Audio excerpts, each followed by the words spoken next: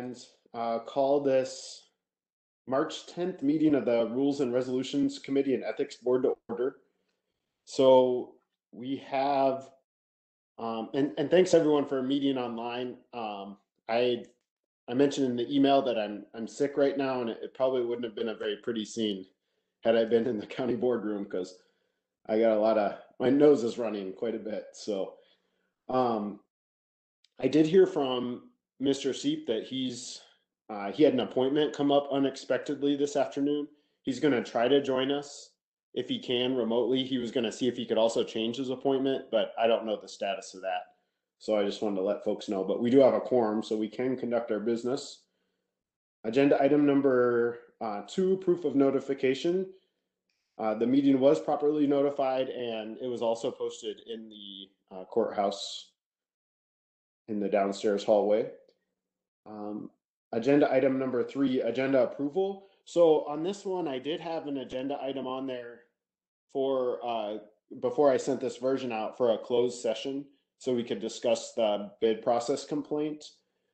However, once I found out I was sick, uh, doing a closed session online is a little challenging, so I pulled that off. And now that Mr. Seep isn't able to be here as well, uh, looks like another reason maybe it was good to not have that on here. But I just wanted to let everyone know that that um, that got pulled off the agenda for those reasons. But but of course, um, I anticipate that will be on a future agenda item under our ethics board responsibilities. So looking for a motion to approve the 11 point agenda as it is. That'll move. Gary seconds. Okay, um, so a motion by Cosgrove and a second by Severson. Any discussion on the agenda? All those in favor, please say aye. Opposed, say no. Okay, that motion carries. Agenda item number four, previous meeting minutes. Looking for a motion to approve those. So moved. Second. Motion by Luck, second by Severson. All those in favor of approving the minutes, please say aye. Aye. Those say no. Okay, that motion carries. We have approved minutes. Agenda item number five, public comments. Topics raised and comments received from the public may be placed on a future agenda for consideration. Is there anyone from the public who wants to make comment to the committee?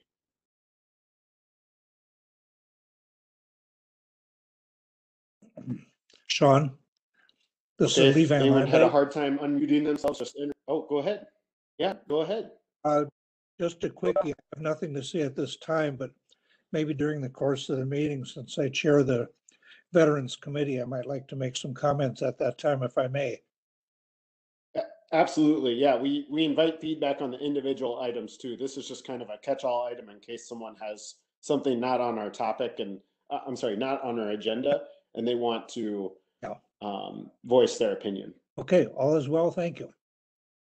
Hi, Sean, it's Linda. I don't think I have any comments. I'm just listening. Okay, yeah, definitely, well, there'll be opportunity to, to talk on items six through nine. So glad, glad you're here. Glad everyone's here. Okay, um, hearing no public Sean, comments. It's we'll- Marty. I'm joining by phone. Okay, great. Glad you're here as well. And I see we've got um, also Supervisor Glassbrenner, Supervisor Caro. Those are the other supervisors I see. Okay, uh, let's move on to agenda item number six, County Board Rules Draft Update. So actually, for items six, seven, eight, and nine, I wanted to know from the committee how you wanted to hear about all these. I didn't prepare any cover sheets. Uh, I didn't prepare any motions because I just wanted to make sure that you all had the documents. Um, I'm happy with agenda item number nine. I don't know that this is going to the to the county board um, at this month's meeting or at any future meeting, but I did draft a presentation with the potential that it would go to the county board. Just trying to summarize all this work that we've been doing over the past six months, and then also to pick up from where we left off at our last meeting.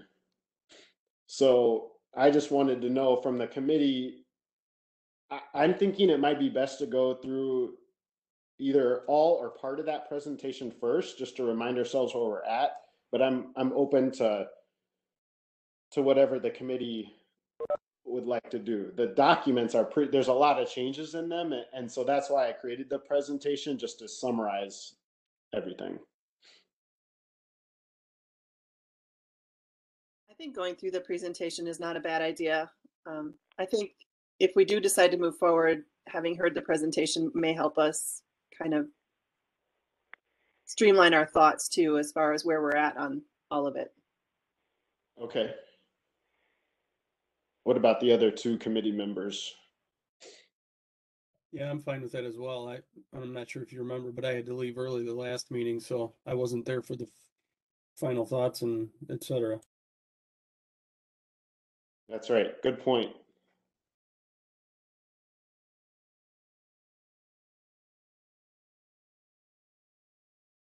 Mr. Chairman, Oh, Mr. Seep, you're here. Great. present, Excellent. I was just asking the committee if they wanted to go through the presentation and does anyone else object to going through that and the whole thing or just part of it? I, I guess I didn't ask for that part of the opinion. what is, what is the I don't rest? You don't have to spend a ton of time on the beginning of it, you know, but I think it's worth going through page by page. Okay. Good morning, everyone, or afternoon. Good afternoon. Uh, Mr. Severson, do you have any opinions? You're done. Okay, let's get going then. Um, so if, I think it's Mr. Langreck just put up the presentation, if you just want to pull that back up. And we'll just walk through it slide by slide here.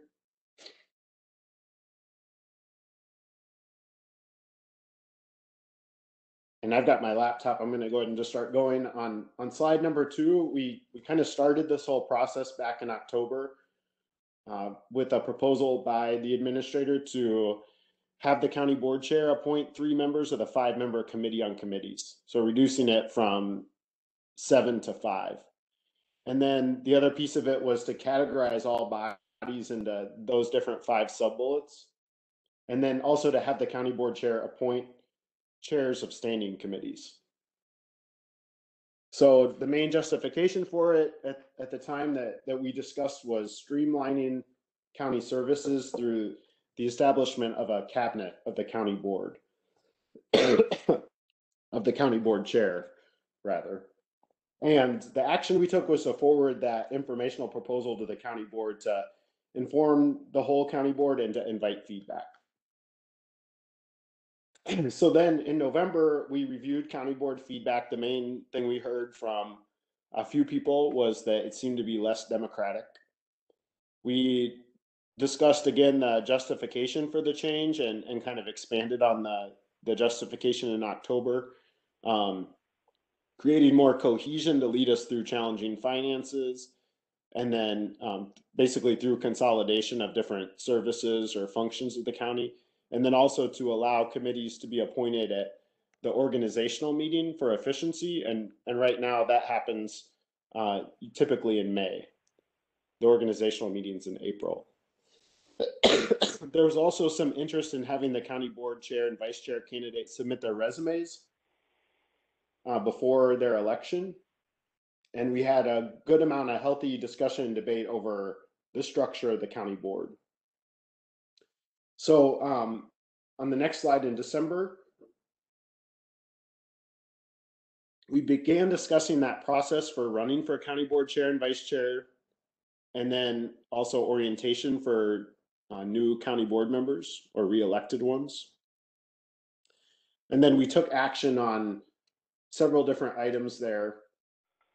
Um, one to encourage county board members to attend an educational webinar series by the Counties Association, one of which included committee structure. and right sizing. Um, we authorized researching how bodies pay departmental bills and monitor annual spending. And then we reviewed research on how other counties appoint their county board members, and we recommended those four bullet points at the bottom there. Um, and I'll go ahead and just walk through each one of them. Um, on the, yeah, that, that next slide is great. So we looked only at peer counties that had a similar population and administrator form of government. So the first question was who should appoint um, members of sub bodies of the county board and specifically county board members. Um, most counties that we looked at, their county board chair appoints those members. Um, I believe there's one exception, and that was Iowa County, and they have a committee on appointments. But all the others did the county board chair with county board confirmation required, typically. The second thing we looked at was when are they making the appointments? Are they doing it in April or in May after the election? And it was about half and half.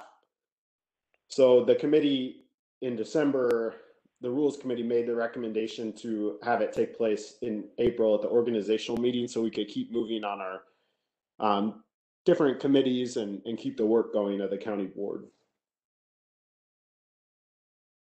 Then the third question uh, was related to removal of members of sub bodies. So it varies quite a bit. And this was a recommendation from the counties association that we make it real clear how removals would happen. And what we recommended was that the county board chair recommend removals, but give the option for, and, and this, by the way, isn't for removals from the entire county board. It's just um, to committees, commissions, and boards that they're appointed to. Um, so we recommended that the county board chair bring that recommendation to the county board if they wish to do that, but give the option for um, that person to submit their resignation beforehand if they wanted to do that. And it would still have to go through county board confirmation. And then the fourth point was what we found in other counties is that these sub bodies or these other committees, they usually select their chairs. So in this case, we um, we took a different route than than what Mr. Langreck recommended to us in October, and we recommended um, that committees select their own chairs.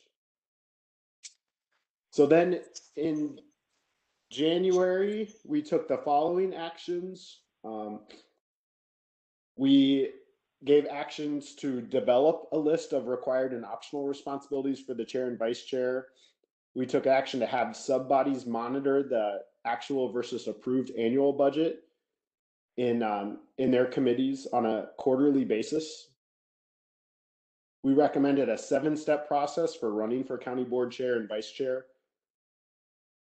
And then we recommended drafting options for restructuring committees to improve efficiency and accountability.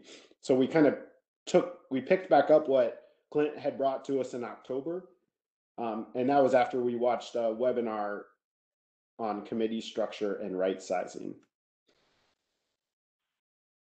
So the first point about monitoring of financial practices, this was that chart that we reviewed um, back in January. And on the right hand side, we found that most stand most regular meetings of um, bodies that oversee departments they don't monitor the annual budget of their reporting departments. There were some exceptions. Most of them are approving monthly bills, but most of them are not monitoring the annual budget. So that's why we recommended that. On the next slide, um, we have this detailed process for running for a county board chair and vice chair. And I won't go through it right now, but um, it's going to come up on another slide because we made changes to it the next month. And then in um, February, we had two meetings in February. At the first meeting, uh, we looked at three options for restructuring committees. And then we decided to further develop a hybrid of two of those options. So why were we looking at these options? A lot of this came from Supervisor Luck's research. We currently have 54 bodies that we either run or that we participate in. Um, the justification, a lot of this we heard from the counties association and, and from a couple other counties that have done this. Um, fewer meetings would encourage a shift in focus from day-to-day administration to policy development, and that's for county board members specifically. And we've obviously been working on that transition for a couple of years, more more than a couple of years now, and it would be just another step. it would give us the ability to attend more meetings if there are fewer of them. And then a, a big point from these two counties that have done this was increased accountability from everyone. And then um, Andy Phillips, the attorney from WCA, told us that state law gives us a lot of freedom for how we structure ourselves. There's no one right answer. There will be 72 different solutions in, in Wisconsin, but there's some parameters that we have to follow. So then at the second meeting in February, we had this list of responsibilities for the county board chair. And we spent, uh, gosh, I want to say, it must have been hour and a half that day, or maybe more, um, going through and picking these out point by point. So we reviewed all these other counties, and we reviewed how we currently do it, and and where we could find things written down. We reviewed state law, and those are the ones that we recommended. And then the process for running for county board chair and vice chair, the main issue that we ran across, and this came through in one of those webinars from WCA with our previous process of seven steps, is that it was step number five. We previously had it written that candidates for county board chair and vice chair may directly contact other county board members to campaign for the positions. And there was a concern about that being an open meetings violation since um, the business of who is our chair and vice chair is is of importance to to the entire public and and doing that um, having those discussions behind closed doors um, invites some issues with the open meetings laws but then we also added um, a step where each candidate they, they've got to be able to campaign somehow and so doing that at the organizational meeting, allowing them 10 minutes to speak and answer questions. That was our solution for how to let them campaign. and then the next slide, um, this was the hybrid option that we looked at at our last meeting. And then the action we took was to flesh it out in the committee structure document. And since that meeting, um, so this is really where things pick up that, you know, if, if all the committee members or other people on the call today have been to those other meetings or watched them, we haven't discussed any of this. Um, I heard quite a bit of feedback after that February 17th meeting, um, quite a bit of it from actually individual committee members, but then also some people, uh, some other folks on the county board and and maybe there's other discussions I'm not aware of, and I think it's good to get that feedback out. So I just listed out five main uh, points that I heard from folks. Um, the first one was that, and and actually, uh, Supervisor Gentis and Chair Brewer came to our last meeting and shared some of this, but then I heard some follow up at the strategic planning meeting on Monday that the the campus committee needs more focus on education and culture um, the second bullet point was I was trying to figure out how to handle the fair committee and and I talked to Mr. Severson about how to split things up and and he mentioned he had some big concerns about putting them into bigger buckets, um, the fair and parks committees, because they're a source of labor. Um, working working committees, usually people call them, and wanting also to keep the citizens and the county board members together on the same committee for now. And then um, also concern about length of meetings that's been brought up multiple times. Um, the fourth bullet point there, I heard from Mr. Seep, a concern about not enough time for department head oversight. If we have too many departments in, in one standing committee. And then heard from uh, both supervisors Luck and Severson about the executive committee having too much on its plate if they handle finance rules and strategic planning and personnel.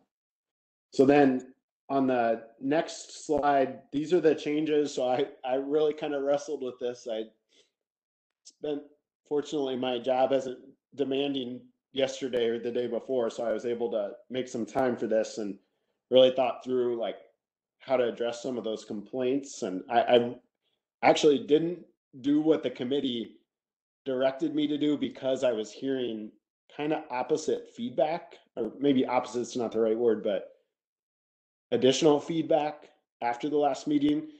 and I didn't want to bring something that I just didn't think was going to sit well with people. And I, I thought maybe people were reconsidering that idea of fleshing out the the hybrid option. So um, this is how I dealt with each one of these, and folks can read it, of course, but um, I'll just give some highlights here. So needing more focus on education, I drafted an education standing committee. And then that would be more limited to campus stuff. So it would have UW Extension, um, the campus, and then food services on it. Um, the fair and parks committees, I what I did is I just kept them both intact, but I combined them and added language about creating a sustainable plan because Carrie and I have talked quite a bit about the amount of time that different supervisors and citizens put into both of those committees and and I don't think it's really a sustainable long-term thing and and so that's where the language is. Um, and ob- obviously this is all draft form, so it's up to up to the committee, you know, if they want to move forward with any of this or amend it or or what have you, but um, the length of the meetings, what I did is I increased the number of standing committees from five to nine. Um, also, after hearing a little bit of feedback that maybe we just need to take a smaller step right now and, and maybe long term we can get to the five standing committees, but it, it might just be too much. Um, that also helps with the fourth bullet point, Mr. Seeps. Um, it reduces the number of department heads reporting to standing committees. The one exception would be LEJC, which would actually increase by one, but they already have five department heads reporting there, and I think they're pretty comfortable with it. Whereas I don't think there's as much comfort with other committees at this point. And then with the executive issue, uh, that committee having too much on its plate, what I did is I divided the executive committee into two. Um, I kept finance and personnel, at least compared to our current setup. And then I put rules and strategic planning into another uh, standing committee. So then I asked Melissa yesterday if she'd make a chart to show this, just to make it a little easier to visually understand. I know that um, you you mentioned Melissa that you had to do a little bit of there might be one line not connecting finance and personnel straight down into those other standing committees, or Yeah. there might be Yeah, you Yeah. can see that it's not connected to anything other than the county board in that. I'll fix it.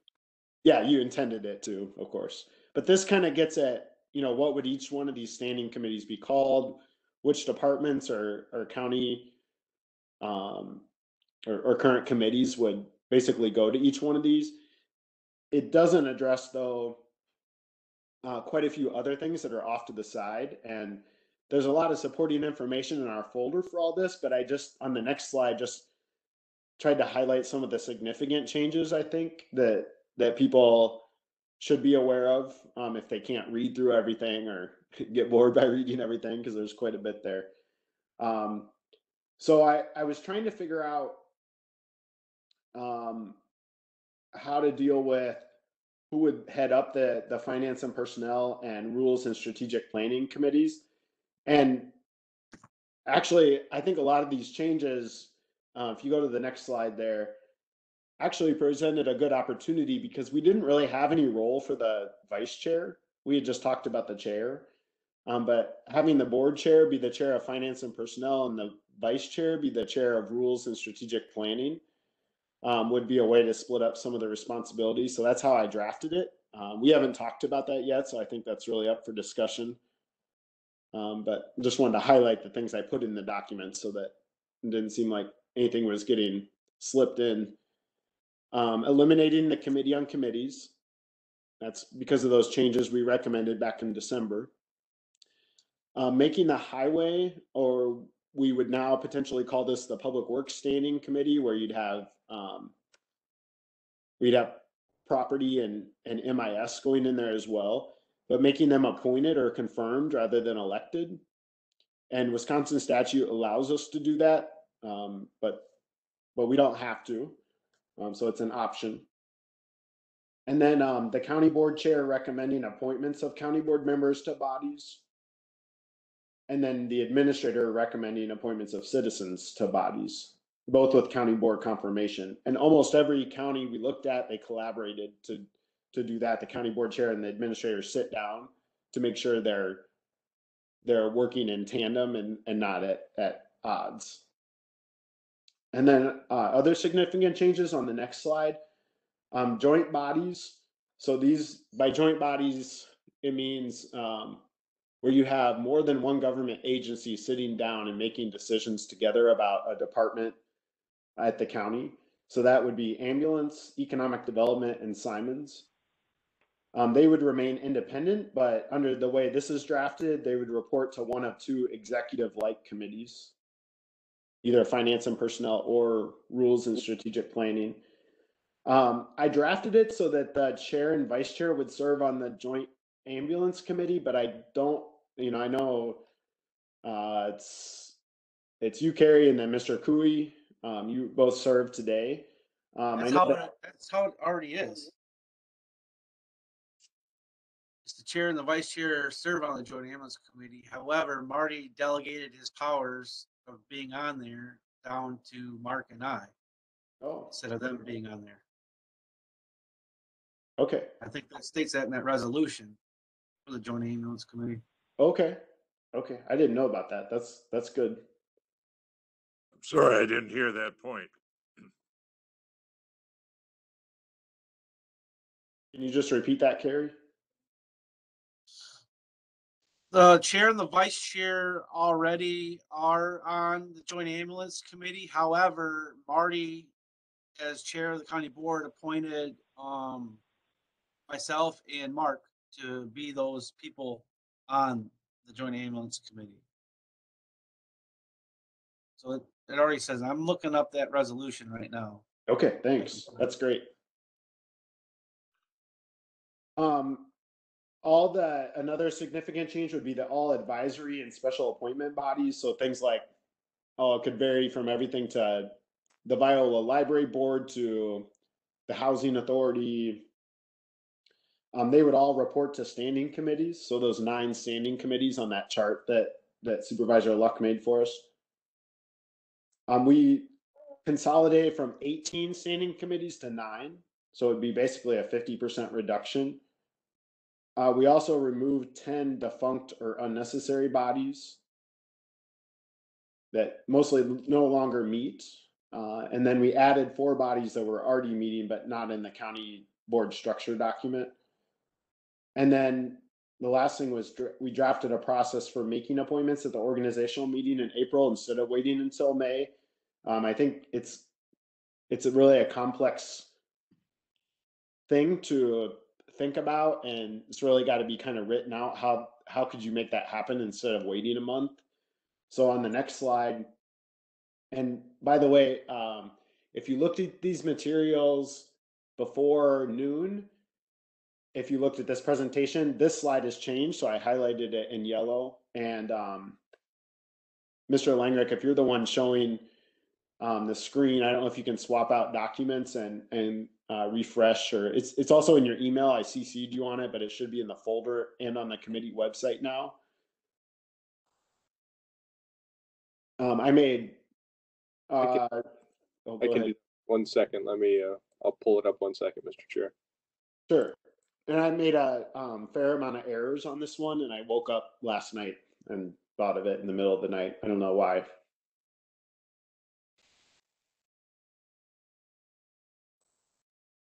Okay. So I- uh, Pulling it up. Sure, right- yeah, no, take your time. Um, I think before I had said each county board member would be on two, yeah, that's it. Would be on two or three standing committees, and then I actually counted them up and some were on four. So I, what I said wasn't accurate and I, I just didn't really, hadn't thought through it. So this morning I redrafted this and it's just an example. Um, you know, how many, and actually the changes made it a little bit better if you like more people on committees because I needed to add some people in order to make it even. But this would actually, if it were this way where the Finance and Personnel Committee and the Rules and Strategic Planning Committee each had nine people. And that would include the chair, the vice chair, and then the chair of each of the other seven standing committees. Um, if it were done that way, um, with each of these other seven committees, you'd have 11 people on HHS and veterans. Uh, some of those would be citizens, five of those would be. Um, seven on Pine Valley and child support, seven on public safety. That'd be an increase of two. You'd have eight on the education committee, seven on land and zoning, um, eight on fair recycling and parks. Half of those would be citizens. And then eight on public works. So if you did it that way, what I did is down below in that chart, I just showed each supervisor one through twenty-one. And what standing uh, committees they'd be on. I've got three columns. So if, you know, if we go forward with this, you know, there's a way to um, make the appointments even or more fair. And I think I've got a dot, uh, point down there. Uh, it's an asterisk between the two charts. Appointments to joint advisory and special assignment bodies should strive for balance between all county board members. Um, I wrote that somewhere into the rules too, but you know, that's really up for debate too. And, and you could, you can definitely move these numbers around. I've done it twice or three times now. Uh, Supervisor Luck helped me a lot with this when we were, I think that was about two months ago when we were trying to figure out how this would work. And, you know, there's many, many ways to, to do this, but, but this would make it even, but you could switch it around too.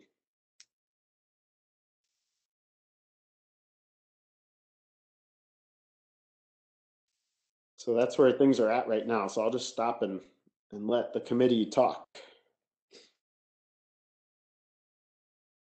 And thanks for listening to me for so long.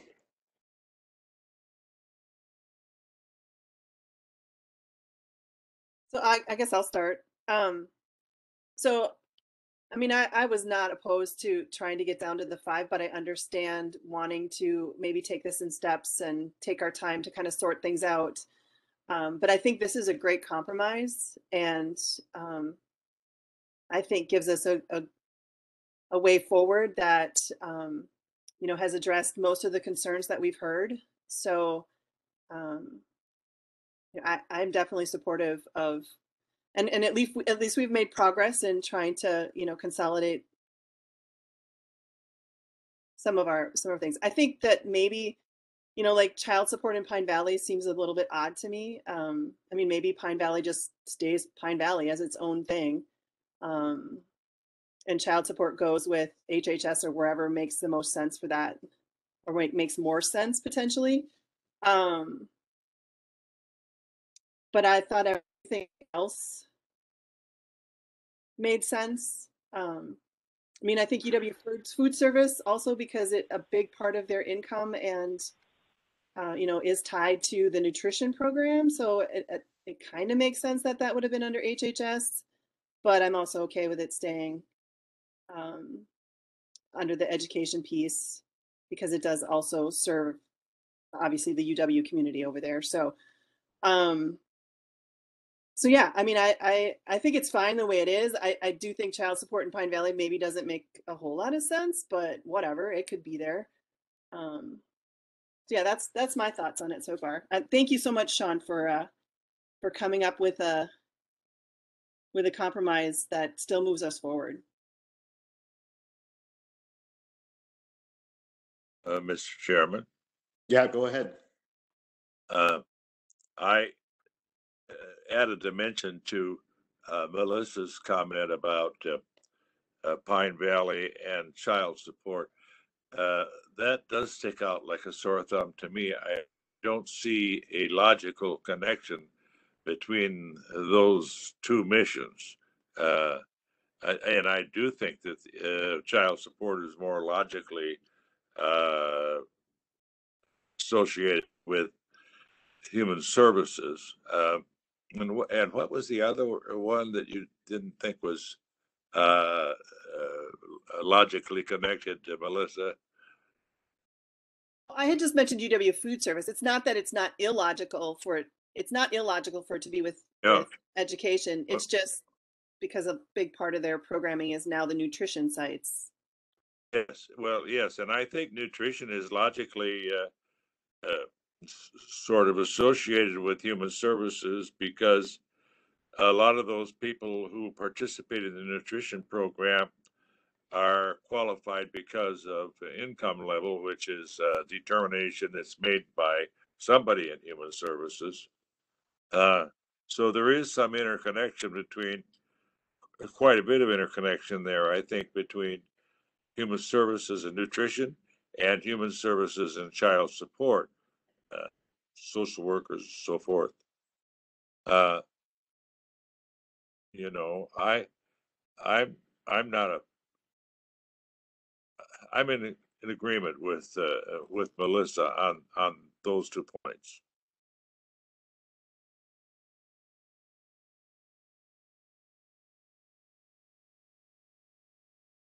I, I'm, I'm, I'm, uh, drowned out by silence. Mr. Chair, Yeah.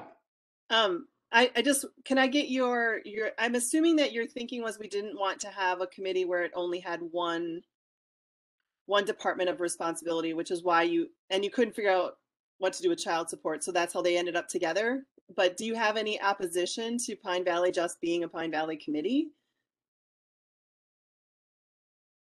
Yeah, you're exactly right. That's what I was thinking.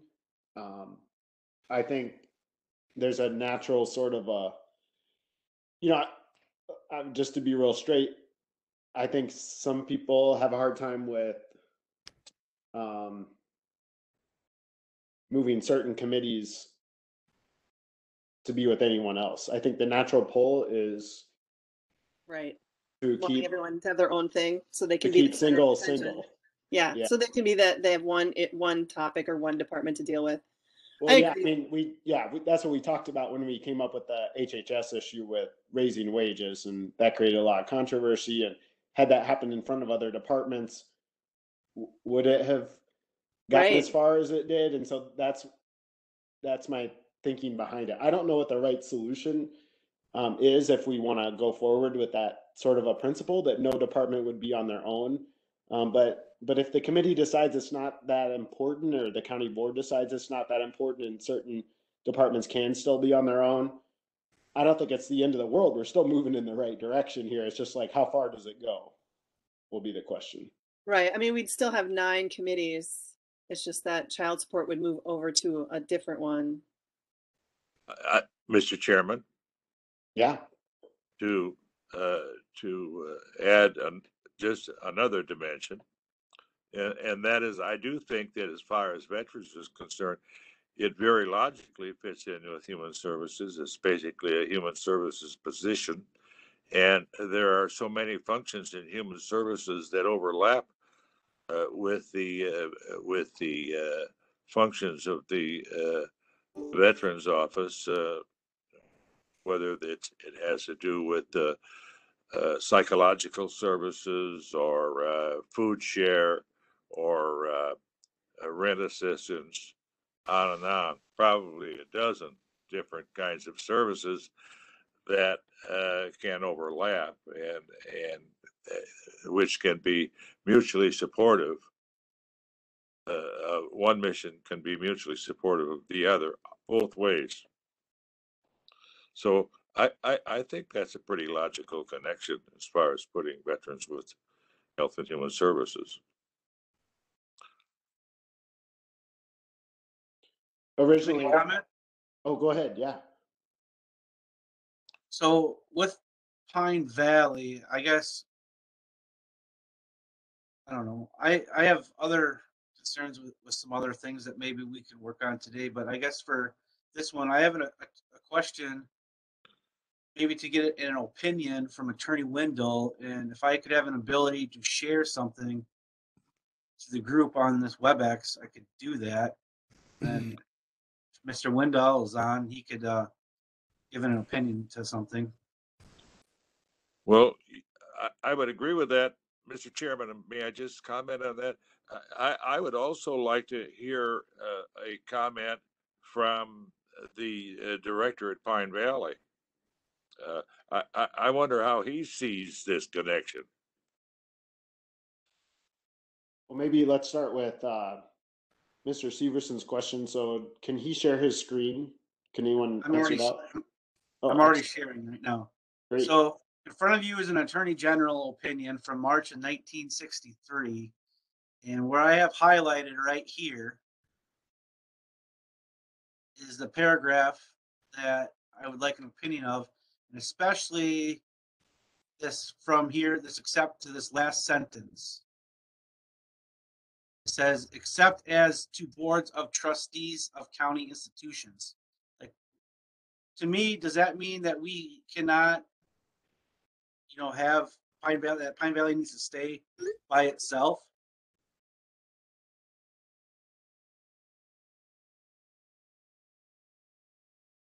It's always been looked upon as an enterprise. As the county, uh, uh, it, it's a county function, but it is separately governed enterprise by a board of trustees, as I understand it.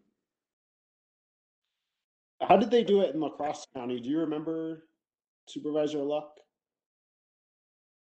I don't, but I can look while Attorney Wendell is offering his thoughts. That'd be great because I thought they were combined in other counties. So, Yeah, it's, um, bear with me, I'm just pulling up some of the supporting documentation for it. Reestablish. So the, the functions that are allowed here are to abolish, create, or reestablish. You're not abolishing it, you're just putting it with else, not creating it. Establishing it. Established. Um, I would want to do some further research on this, um, and, and read through the rest of this opinion. And it's also from nineteen sixty-three, so potentially uh, things have changed since then. I would say though that based on just what's in front of me, um, you know, folding Pine Valley in with another committee is not forbidden. I know Vernon County is looking to do the same with their facility.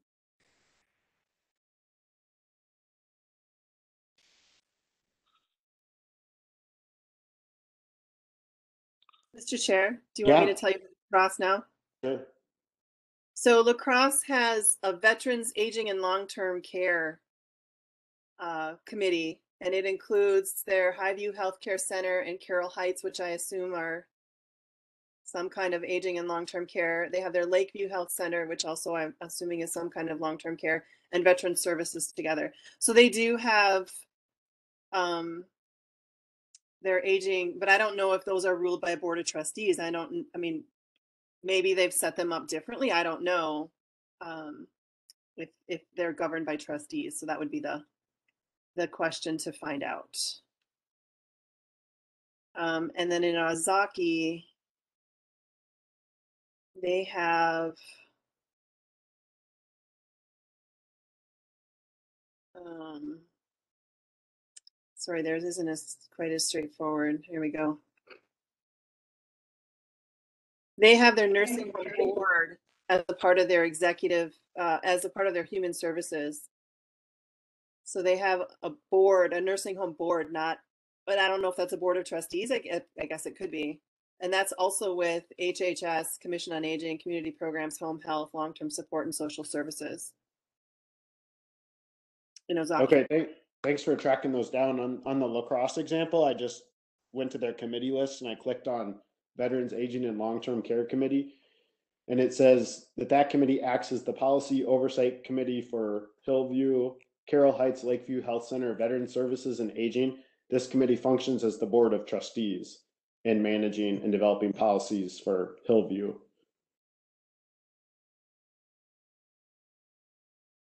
Say, Sean, this is Lee Van Landite. May I make a, mo- a comment?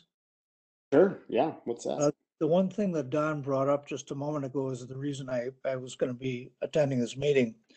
Uh, as chairman of the Veterans Committee, I had suggested, I think, to you, to Marty and to Clint, that it would be an excellent fit to put them with HHS because they provide much the same service. Uh, we do have to accommodate both county and state law on this. And what I'd suggest maybe as the veteran portion of that, it not only be a committee that satisfies our county rules, but also as a commission, maybe do slash commission to fulfill state requirements. And uh, we can work with Clint on that one because he was actually a CVSO, so he'd know the, uh, all the inner workings of that. But I, I think that's an excellent move since uh, Clint has come on. A lot of the things that we used to do as the Veterans Committee is no longer in our purview.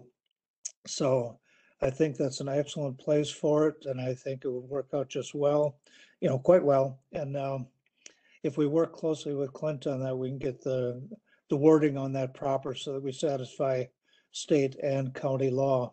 So that's, that's all I have to say. I think that it's a, it's a good fit there. So thank you. Sure, th- thanks for the feedback and, um, I don't want to get too far from Mr. Seep because I, I remember I have to come back to you, but, um, if, I don't know if, Mr. Langreck, you can share your screen again and pull up that, uh, committee structure or body structure document with all the changes and, and I did send out a, a new one. Um, because some of those mistakes I caught applied to that document as well. It's 07A. And if, I'll direct you to the page number, just to, to make sure we get, um, the question answered about the veterans. Just looking for the page number now. So it'd be page ten. Um, no, it'd be the, um, 07A would be the, um, There we go. yeah, that one. There you go. It'd be page ten. And there's a section E toward the bottom of the page or second half of the page. So the heading is Health and Human Services. This is on the previous page, so you can't see it. Health and Human Services and Veterans Standing Committee. And then um, section E would read acts as the Veteran Service Commission as follows. And then um, out members, lists out state statute um, as far as providing aid to needy veterans, and then provide oversight and advice regarding the Veterans Service Department. So those would be the main points. Um, one thing that we learned from that training and from the counties association is that this state law gives us a lot of freedom to create what we call a standing committee and have it operate as a uh, carry out the functions of what might statutorily be a commission or a board. So it- would still function as a commission, but it would be combined um, to allow for efficiency and more accountability.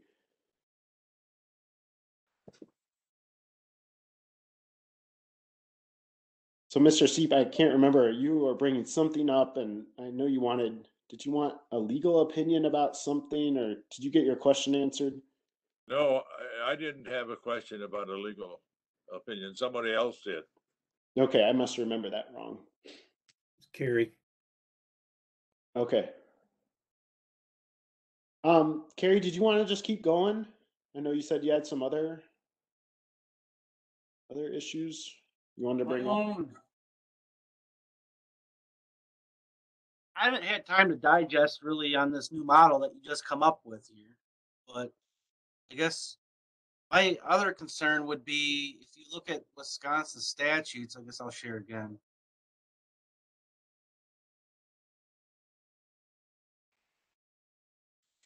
So if you look at Wisconsin statutes, um, twenty-seven oh two on County Parks Commission, um, talks about, you know, of less than hundred fifty thousand. It talks about members of the Parks Commission, and then two, it goes in county with the executive administrator, except a county with a population of less than hundred fifty thousand, which has not by resolution provided for a Parks Commission.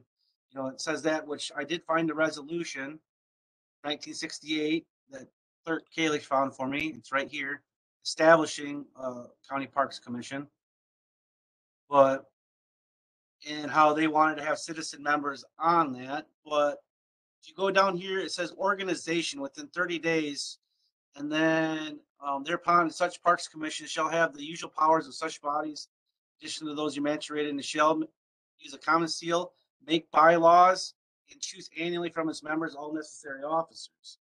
So to me, I'm wondering, does the commission need to be, is that a separate body? A separate unit form, like a quasi governmental type thing.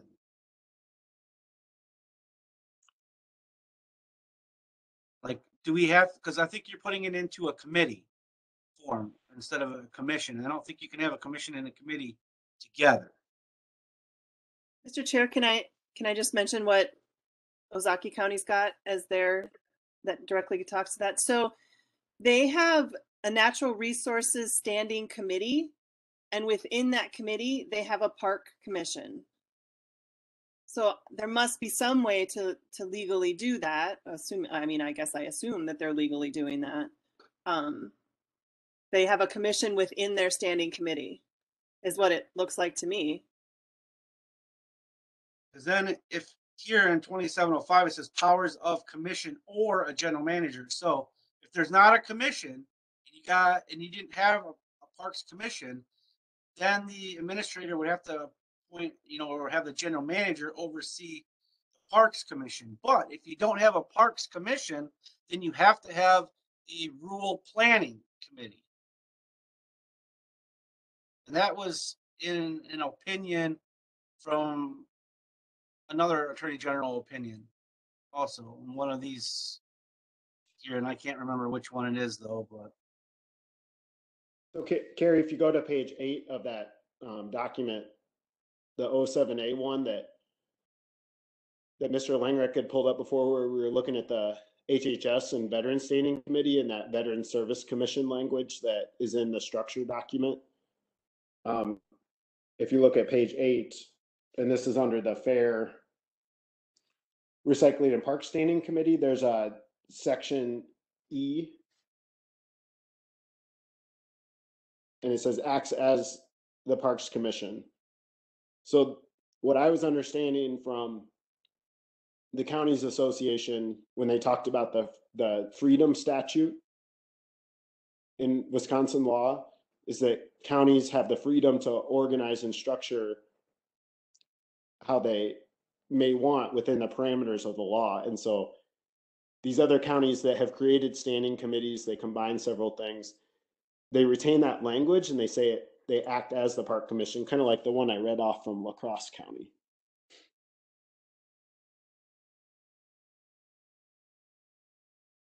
So I just pulled all the language that was already in the Parks Commission section and um, usually when you track changes in Word, I, I've been used to when you move language, it does a double underline and it's green so you can see that. So I know this looks like I wrote all this, but I didn't. I was just cutting and pasting because I was trying to get everything alphabetical.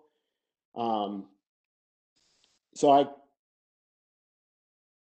I kept I kept almost all the language um, where there was language about um, that the Parks Commission is administering or managing or what have you. And this was true of all of the standing committees. Um, I inserted the provide oversight and advice language. And then like in parentheses, you can see it says IE. I actually pulled this from state law. This is under the, um, the highway statute. There's a section that talks about how once you have an administrator, the highway committee can no longer do the day-to-day uh, administering of the county highway system. They have to do this um, what they call policy making, determining, and broad outlines and principles governing administration. So I just pulled that language from state law and pulled it into each one of these. But otherwise, all the different points of things that the Parks Commission and the, the Fair and Recycling Committee do, I didn't. I hope I didn't at least. Um, I didn't intend to delete any of the actual jobs that are listed out in the committee structure document. Mr. Chair. Yeah, Uh, so to answer the question directly, every legal source that I am finding indicates that it is appropriate for a committee of the board to operate the county parks, which would be the county park commission. Uh, that's backed up by the AG opinion cited by Supervisor uh, Severson, and then I also pulled up some supplementary stuff um, using lawyer magic. But um, so yes, I, I think that it is possible. Um, we may want to clearly define the various roles and, and such, but um, I, I think that is appropriate and legal.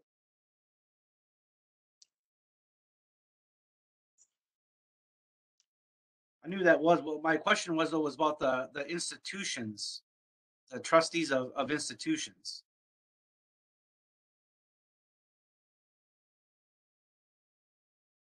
And I'm assuming that the institution back then was kosher per se to consider um skilled nursing facility that was called now an institution.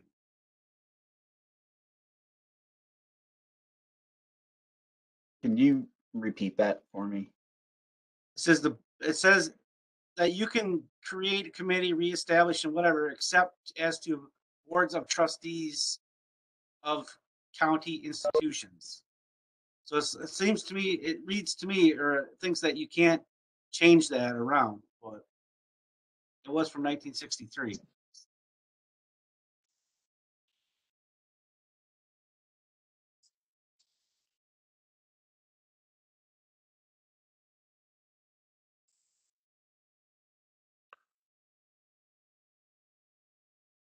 Mr. Seep, I think you were interested in uh, Tom Rislow's opinion. I think that's what it was that I was remembering from earlier. I don't know if he's on. I just flipped through everyone's um, contact information. I don't see him listed unless he's called in by phone. Could you give me a précis of his opinion?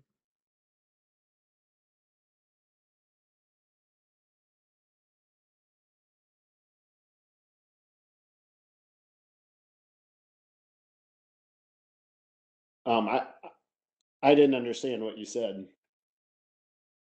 A quick summary of his opinion. I don't know his opinion. Oh, I thought you said you read his opinion. No, no. Um, you had asked for it. Oh, okay. That's what I remembered that I'd forgotten earlier.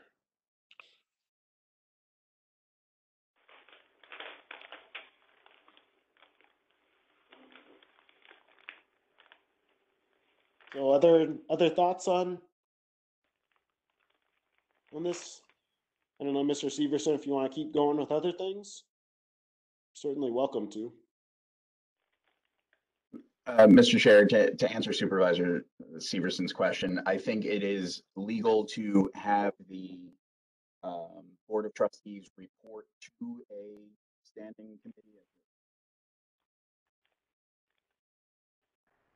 You're fading out a little bit, Mr. Wendell, so I don't know if it has something to do with your mic, but you might just have to repeat all that and stay closer to your mic. I might have to be facing my computer screen. Um, so the case law and, and supplemental, uh, attorney general opinions do indicate that the, um, board of trustees is regulated by the county board. Therefore, I think it is appropriate to have, um, a board of tru- trustees as a designated unit, but have that unit report to or be a part of a larger committee. Um, and then have that committee report, um, and be regulated by the board as part of um, its normal function. And then I, I'll refer back to my previous statement that I don't believe that there's anything um, in the Attorney General's opinion cited that prevents that uh, structure from taking place. Well, that was my concern, was wondering that we still need to have board of trustees. You just can't not have the board of trustees and make it into a committee. Correct, based on what I've been able to find thus far. If we really, really, really want them to be completely independent, I can do further, more thorough research. Um, but just based on what I have here, uh, I think it's feasible to put them into a committee structure. So then, in the model that we're proposing then, would that Pine Valley Committee then be considered, uh, the Board of Trustees? All of those people that are on that? Correct.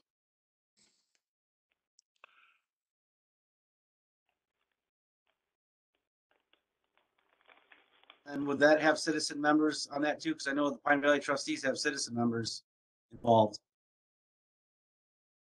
Yes, I, I can answer that. So if,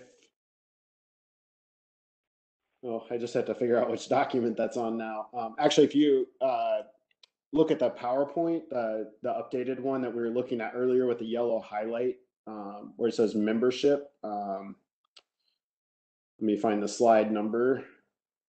Be slide twenty-two or, or page twenty-two rather of the, um, it's O nine A is the, the number of the document. It's called draft presentation to county board.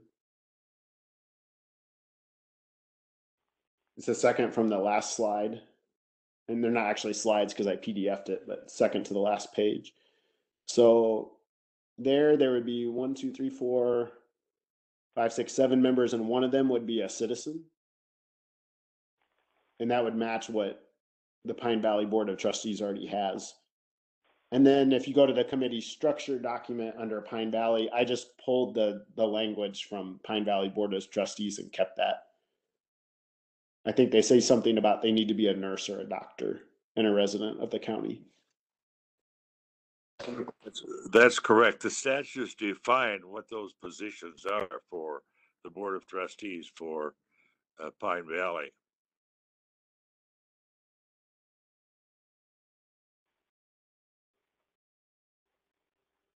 Yeah, it looks like the language was just a little different. It was five number, five members of which four of whom shall be county board supervisors and one member shall be a citizen. And so I just kind of, it's just a formatting change I made. I was wondering about, I didn't know how many citizens are currently on the, uh, the fair and recycling committees and I think the way I listed it back on that same page is there'd be two citizens from the fair, two citizens from the park, and four county board members. So I don't know if that's enough or not. Um, maybe there needs to be more to retain all the good talent that's already there. So I, I don't mean to shrink that size down if that should be increased. That's a really easy thing to increase. There is, there would just need to be two more citizen members then. One for fair and one for, um, parks. Okay, so it should be, so it should be, um, Three, three for fair and three for parks. Got it. Okay. Okay. I'll make that change on my document I've got.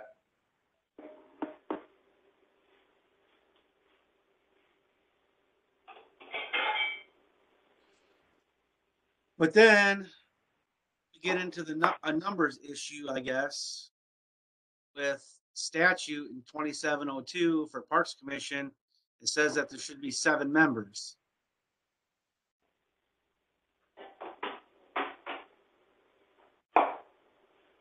Does it give us any leeway to change the member number? I know that a lot of them that I was reading the past few days, they they said the county board shall set.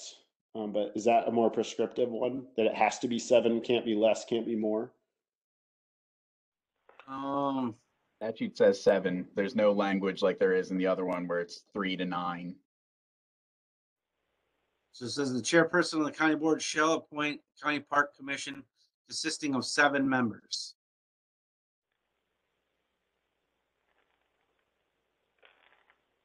Um, I remember hearing somewhere, I think actually this might apply, this example might apply to the Land and Zoning Committee. So if you look at that one, uh, I'm sorry, I see you're sharing your screen now. I was just gonna bring up, if you look at the Land and Zoning Committee on that membership list, um, back to page twenty-two of that PDF, the presentation to the county board. So there's seven members listed there. One of them is a citizen, and in parentheses it says FSA. And I thought I remember hearing that one of these counties, the way they handled that, I thought Supervisor Luck, you might remember this better than I do. I thought for that portion of the agenda of that standing committee, the FSA member votes, but they don't vote for the other portion. And so I wonder if that's how, I wonder if that's a way to work within the parameters of the law, just to have not have the fair citizens vote on any parks matters that require a vote.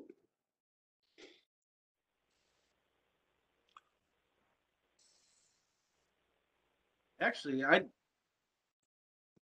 I don't know. I like the idea of having the fair and parks combined because there's there's just a lot of features that I think both committees are similar promoting and doing. Like fair wants to promote camping and have camping out there. Well, that's what parks is doing is promoting camping and stuff like that. Yeah, there's a lot of overlap. Yeah. Could you also And add instead Ash Creek, instead of- could then could you you got- add Ash Creek Community Forest too?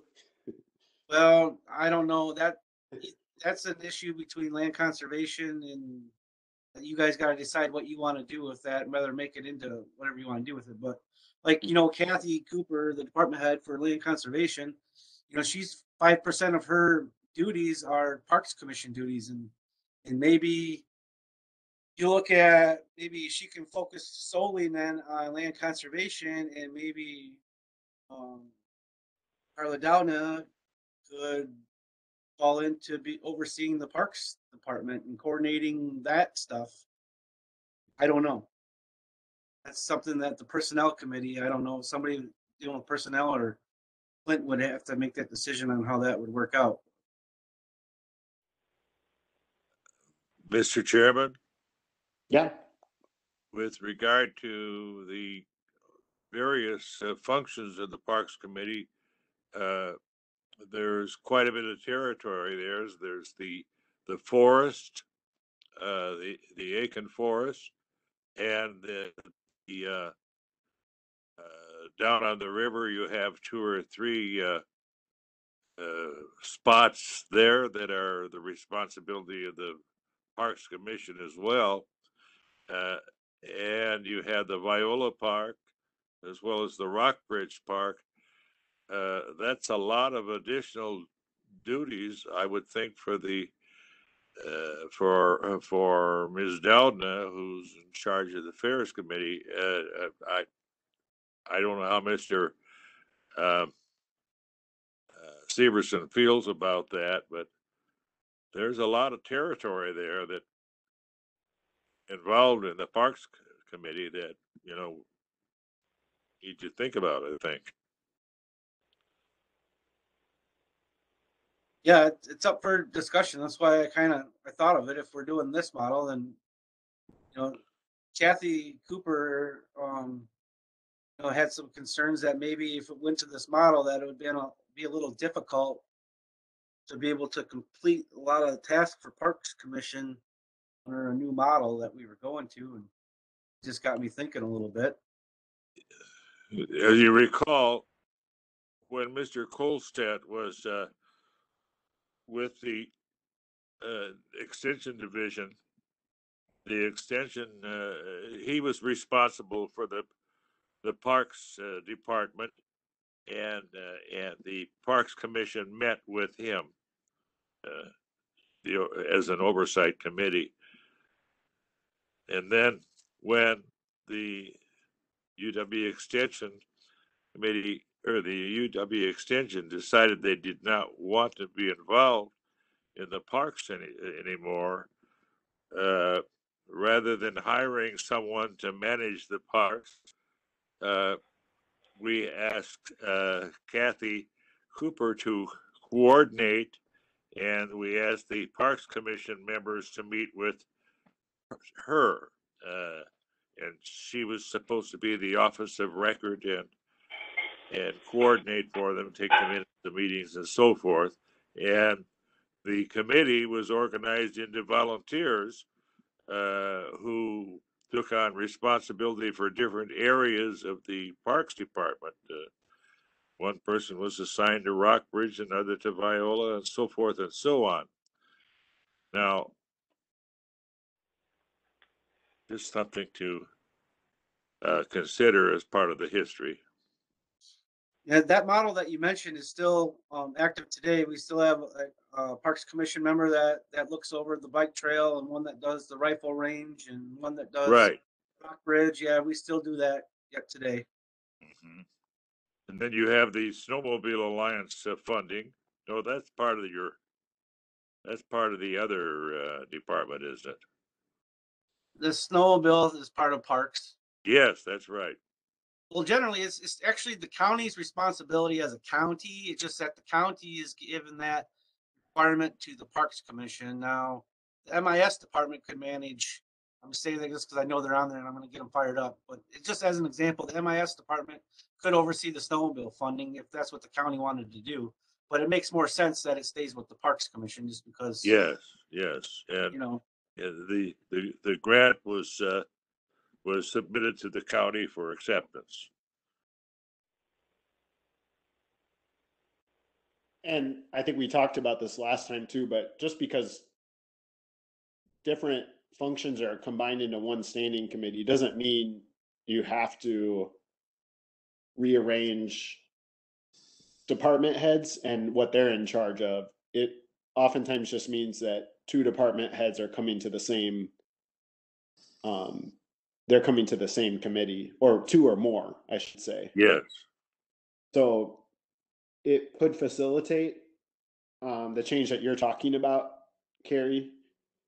Um, the combination of fair recycling and parks into one standing committee. But should we decide not to go that route, then it could still stay like this and you could have two department heads coming. so what's the, what's the membership numbers?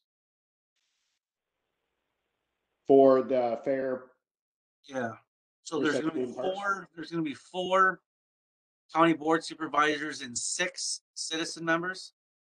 yes, I had four and four before, four supervisors and four citizens. And then when, when you just said that, I changed it in my document.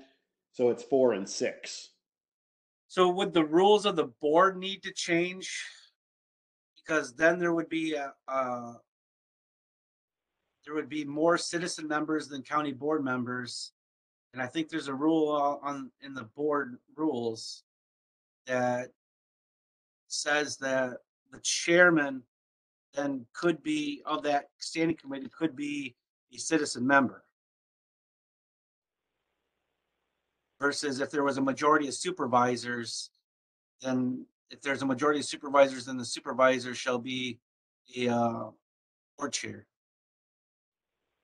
Is that how you currently, is that, or would, would this committee be okay then? Having a citizen member chair that Parks and Rec Standing Committee?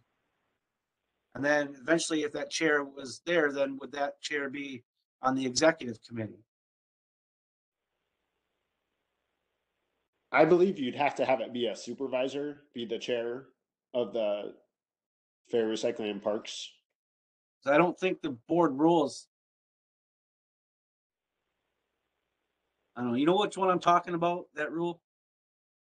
I don't, and I, I just did a control F search on parks and I didn't see anything in our county board rules. But is it something to do with more the membership of a committee? Like if Yes, any majority, how is that? set? yes.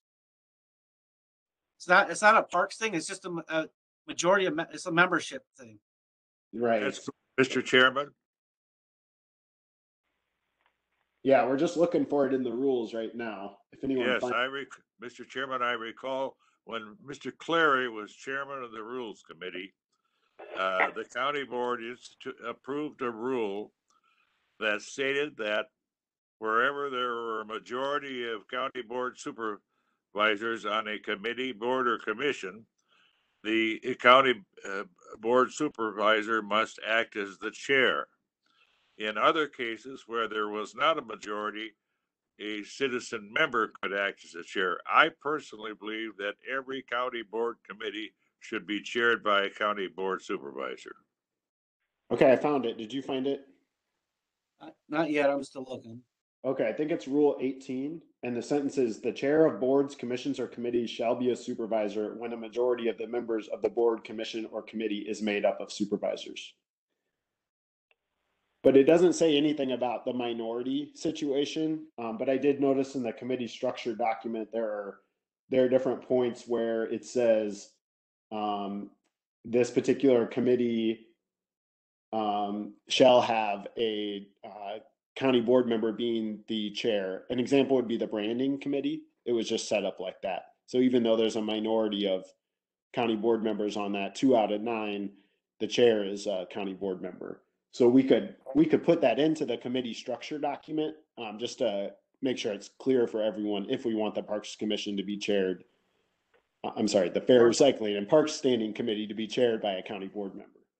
Mr. Chairman, I, I agree with that because uh, uh, if you have a county uh, board supervisor as a chair of a committee, that ensures that the, uh, the committee's work uh, is accountable to the county board because that county board supervisor reports to the county board. He represents the county board. Does anyone object to me adding that in there, that the chair of the Fair Recycling and Park Standing Committee has to be a county board member? Sounds like a good idea to me. I'm good with that. Okay, I don't, I don't object, object to that either, but think, think of this now, um, so currently the Parks Commission has a county board supervisor as, as a chairperson. But then the, um, vice chair of Parks is a citizen member. And the Fair and Recycling Committee has a county board supervisor as a chair, and the vice chair of the Fair and Recycling is a citizen member. Now, would that be, would this committee be okay in this situation where it's always a um, county board supervisor as a chair, but the vice chair, could that fall back on being a citizen member? Um, so I, I don't see any problem with that. I mean, it- this is really just about the membership on the executive-like committees. Um, but Yeah. I'm just seeing now on the bottom of page seven, it does already say that. I just must have pulled, that language must already be there. It says the chair shall be a county board supervisor. I must have pulled that from Parks and or Fair when I combined them. All right, so, so you, so that, this committee would be okay, you know, having a citizen member be a vice chair of that type of a committee. What do other folks think? Anyone object to that? So my only question for you would be if a chair of a standing committee can't make it to an executive committee meeting, is the vice chair the one that would go to that meeting in their stead or they just would be absent? That was gonna be my next question. Melissa, Because then it would matter, right? If we Yes, let them that's why- appoint a that's why I'm asking. Citizen vice chair.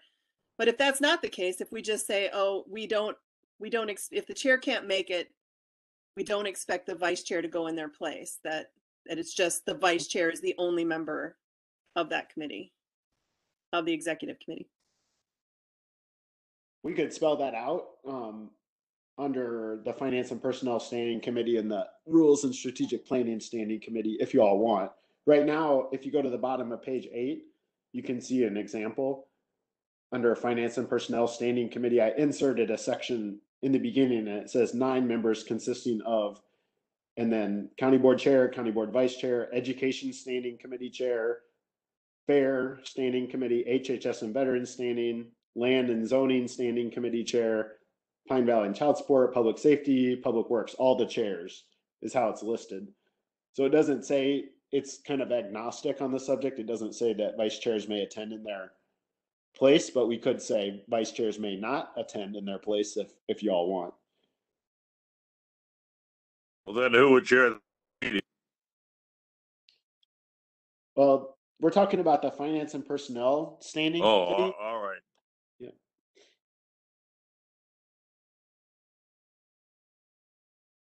I mean, I think it's probably a good idea. I mean, yeah, I think it's probably a good idea to spell it out just so that it's clear that we Okay. are- would not expect a vice chair to to attend the executive committee meeting in place of the chair if the chair can't make it. Um, that you know they're chosen for it because they're the chair.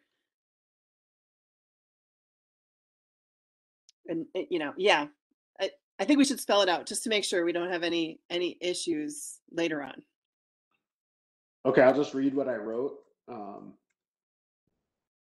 Vice chairs of standing committees shall not attend the meeting in place of any standing committee chairs. Uh, uh, Mr. Chairman? Any county board member can attend a meeting. I think the word attend is, a- is the wrong term there. How About act as a voting member.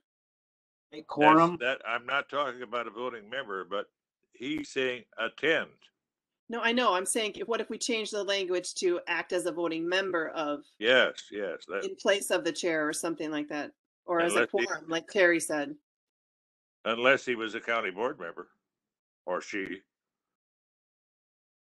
Um, so I'll try again here. Vice chairs of standing committees shall not act as a voting member in place of any standing committee chairs.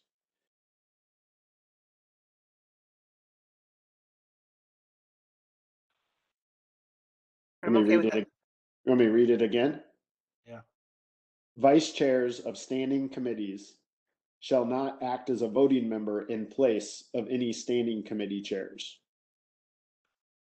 What if that vice chair is a board member?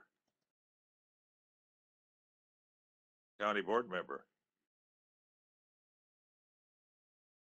I think we're specifically talking about the executive committees. So do you have to, instead of saying standing committee, I think you want to say either of the executive committees. Because what you just read actually kind of implies that they can't, even in their own committee, act as chair if the chair is missing.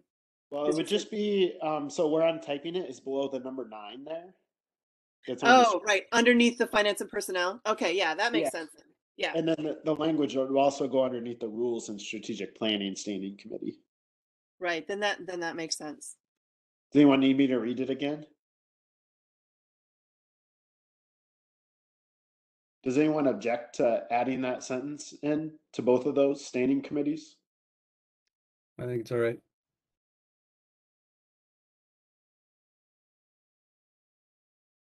Okay, I'll go ahead and uh, add it into both standing committees then here. While we're still on the, that and stuff, can I ask Don a question? Go for it. Um, Don, do you remember, did Parks Commission, didn't they also have the recycling department under them at one time? Uh, I believe that they did, but you could, I'm quite certain that they did, but you could check that with, uh, with Mr. Kolstad. Uh, I, I think they did when Mr. Kolstad was, was the overall manager from Extension. Uh, yeah, I'm quite certain that, that you're right about that, but, you know, I'm getting older and my memory fails me somewhat. I know that Mr. Kolstad can, can confirm it. I think Carlos told me that once before too, that the recycling committee used to be under Parks Commission. Well, Carla wasn't, uh, wasn't on the, on the commission when, uh, Kolstad was the manager. Yeah, but I think let's we're just gossiping about it. But yeah, I pretty sure recycling was. I think this is still a good fit with what we're doing here on that, having those two combined together. I just wish we could work on a common thing for department heads, but that can be done at a later date, at a later time. Um, one question I have for for you. So if you go to the bottom of page seven, I guess, um, so just one page up there. Um, and thank you, thank you for putting this up for us, Mr. Langreck. Super helpful. Um, so under fair, uh, letter B is in boy. Oh no, C. I'm sorry, C is in cat. I'm wondering what you think about this sentence. And I can read it out loud for for um, anyone who can't see it. Uh, working with the county administrator and executive committee, recommend a staffing and volunteer plan for sustainable operation of the county fair and parks to be incorporated into the 2023 or 2024 budget.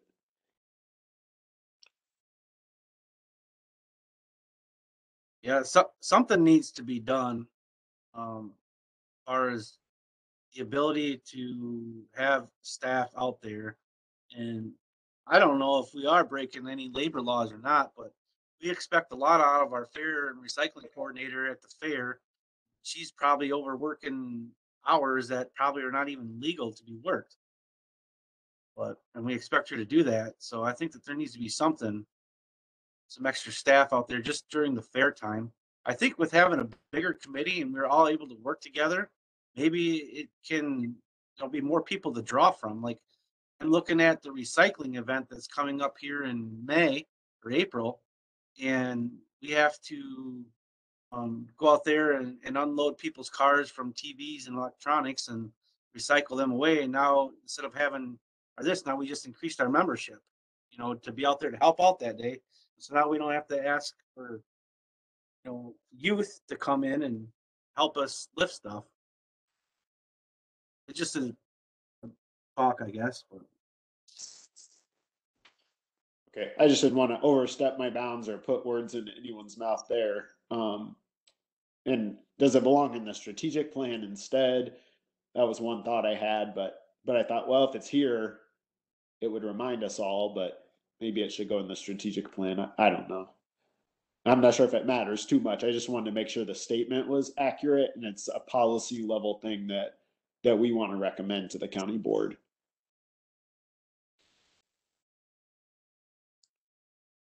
I definitely think though that we need to have. I do agree with that statement a little bit, that C. For a short period of time, it may not need to be a year long thing, but Well, would need to come out by the next term of the county board because presumably we would have addressed it or decided against addressing it, you know, for some unforeseen reason. Recommend a staffing and volunteer plan for sustainable operation. It, so, yeah, the county administrator and executive committee can work to develop a plan. It's not saying that we're gonna be, gonna be, it says incorporated into twenty-three for budget. Yeah, And I guess it should, we don't have an executive committee anymore under this new way of doing it. So I don't know if it should be finance and personnel or rules and strategic planning. I maybe you would say finance and personnel because it's a, it's going to come down to money. and in personnel, it's dealing with personnel also. Okay, I'm going to replace the words executive with finance and personnel standing committee.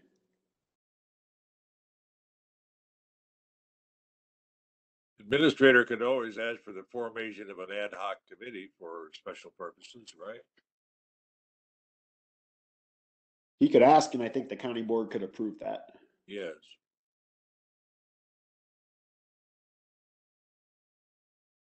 Okay, any other things that folks want to talk about, or you want me to walk you through some, some of the other documents that we, we really haven't pulled up?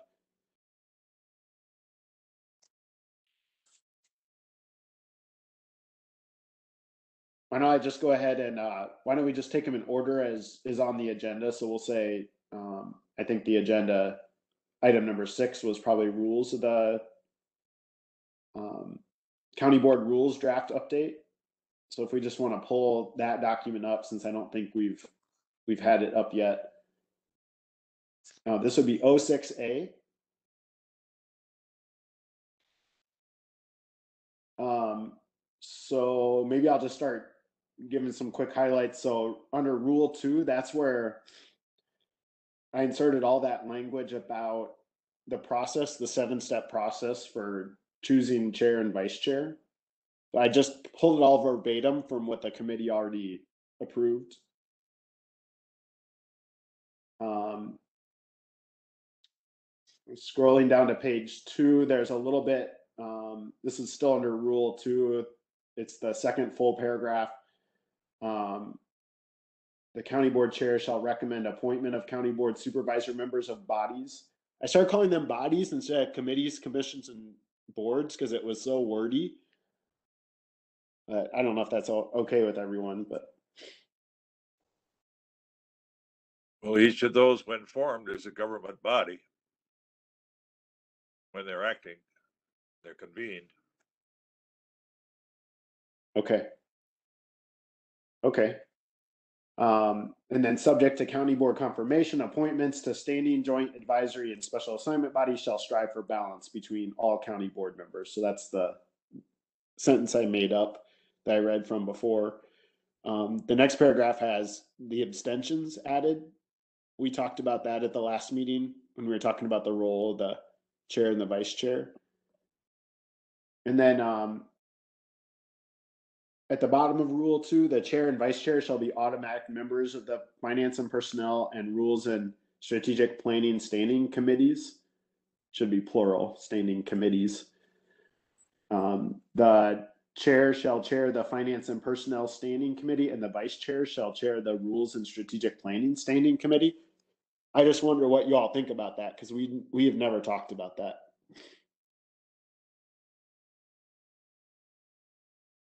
Don't have any objection to it. Me either. I think that works.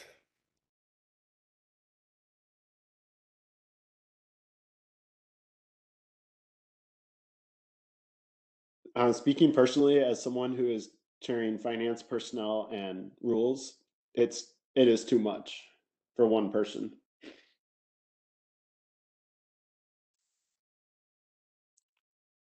So that was some of my motivation in here too, you know. I agree. It's a lot of work. Yeah, a lot of work. Okay, um, I guess we can keep scrolling down. Um, rule five would be the next change. Um, this is where, this is just language that we already approved about. The county board chair shall be responsible for preparation of the agenda in conjunction with an assistance of the county administrator and county clerk. And then rule six is, um, this is more about, um, how chair, how the chair and the administrator shall appoint people or recommend appointments. So the language use I chose was the, and I talked to Mr. Langreck about this a fair amount. Um, the chair shall recommend appointments of county board members to bodies subject to confirmation by the county board. The administrator shall recommend appointments of citizen members of bodies subject to confirmation by the board. And then the Pine Valley and Child Support Standing Committee shall be elected by a majority of those present by secret and formal ballot.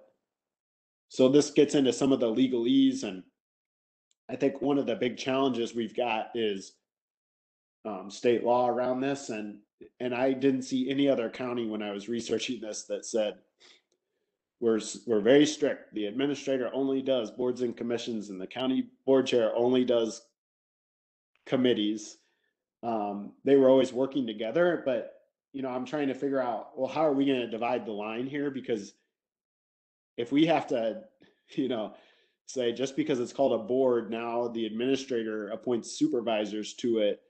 Um, we we could start changing the names of things to have it be how we want, but then you'd have the county board chair appointing citizens and and it's just it just was getting really confusing to me so i kind of drew that line in the sand but but i want you all to be okay with that line if you think that's fair or not and i this is what i talked to clint quite a bit about Well, whether you call it a body or not, the statutes, uh, state whether it's a board, commission or committee. And so, you know, when your appointments are being made, it's, uh, it's clear that, uh, who will make that appointment depending upon, even though it's called a body, depending upon whether that body is a commission or a board or a committee, correct?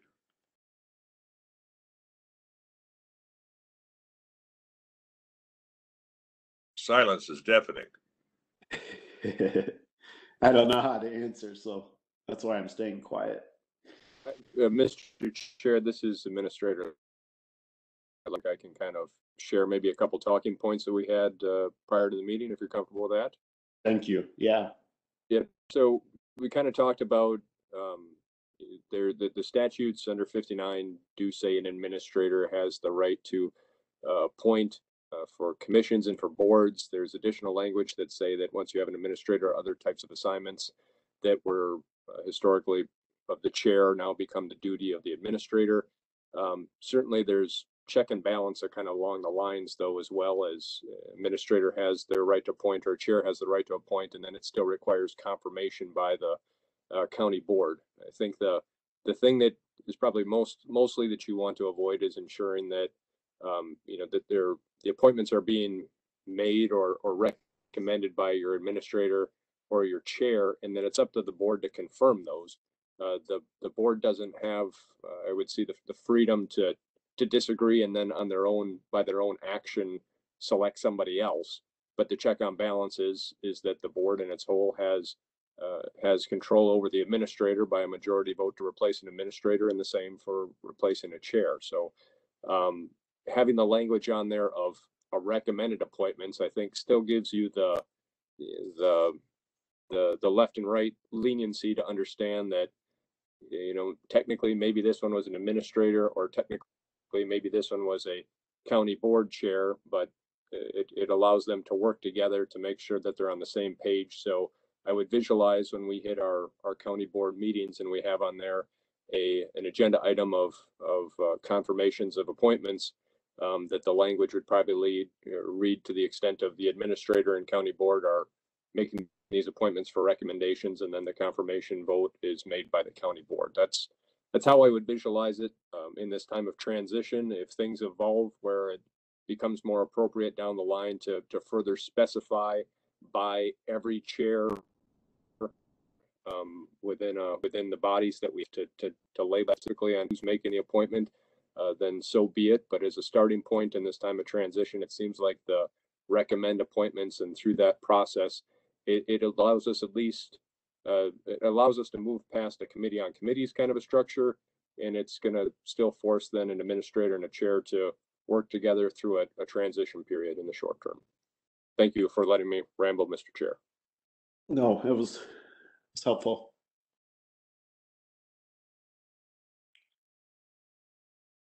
Um, and then if you scroll up just a little more under Rule Six, um, and, and by the way, if anyone objects to that language, please speak up. I, I think it's, I, I definitely welcome any objection to language because I, I just want to make sure everyone's comfortable with this stuff. I want to make sure a lot of eyes are on it because it'll be better if, if you all catch things that I wrote in here that don't capture where we want to be. Um, just please, please share your opinion. Um, the bottom of the second paragraph of Rule Six, that's that language about where the county board chair may recommend the permanent removal of a county board member from a body subject to county board confirmation. The county board chair shall offer the option of resignation to a county board member from a body before a recommendation for removal is brought before the county board.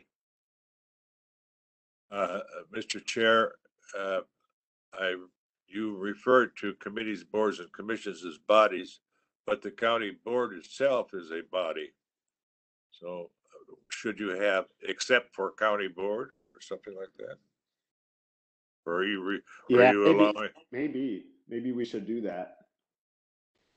Does anyone object to, um, to Mr. Seep's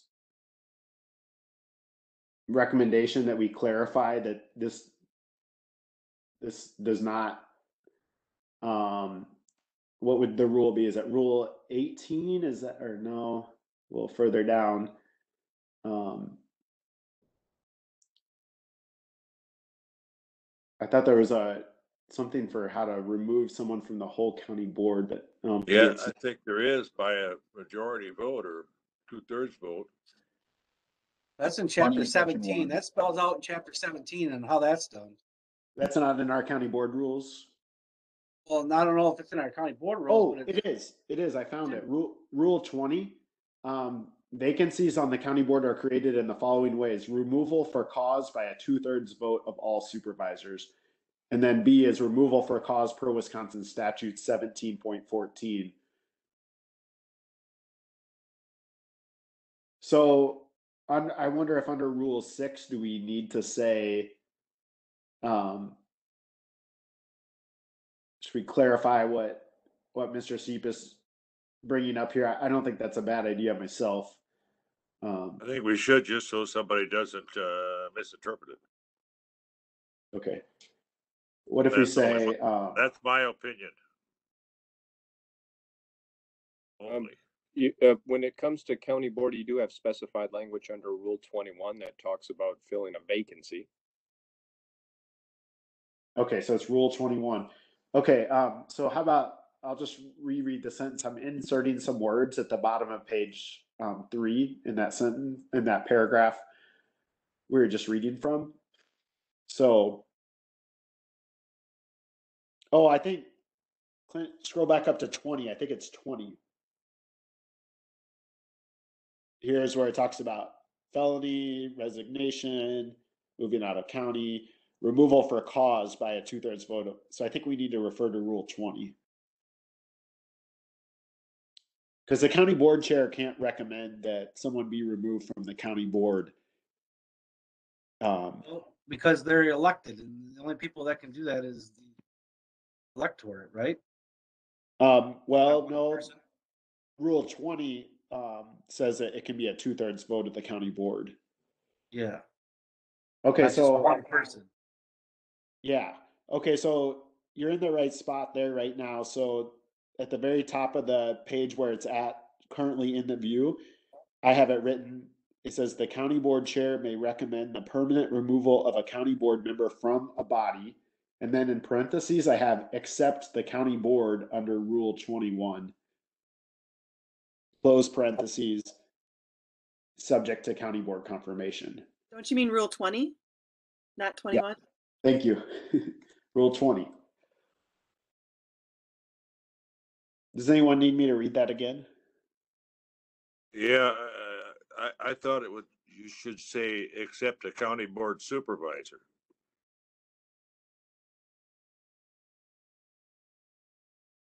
Well, but that would be confusing, I think, because because a supervisor may be removed from a body except the county board. Um, All right, so somehow, so that it's clear. The county board chair may recommend the permanent removal of a county board member from a body. And then the parentheses is right after body, except the county board under rule twenty. Maybe I should say the county board body. Or the, except the body of the county board. Yes, that was, that's nice. Very nice. The other way maybe would be instead of saying body in that spot, to actually say committee, board, or commission. Okay, Sub, then you wouldn't have to go into that parentheses. that's true.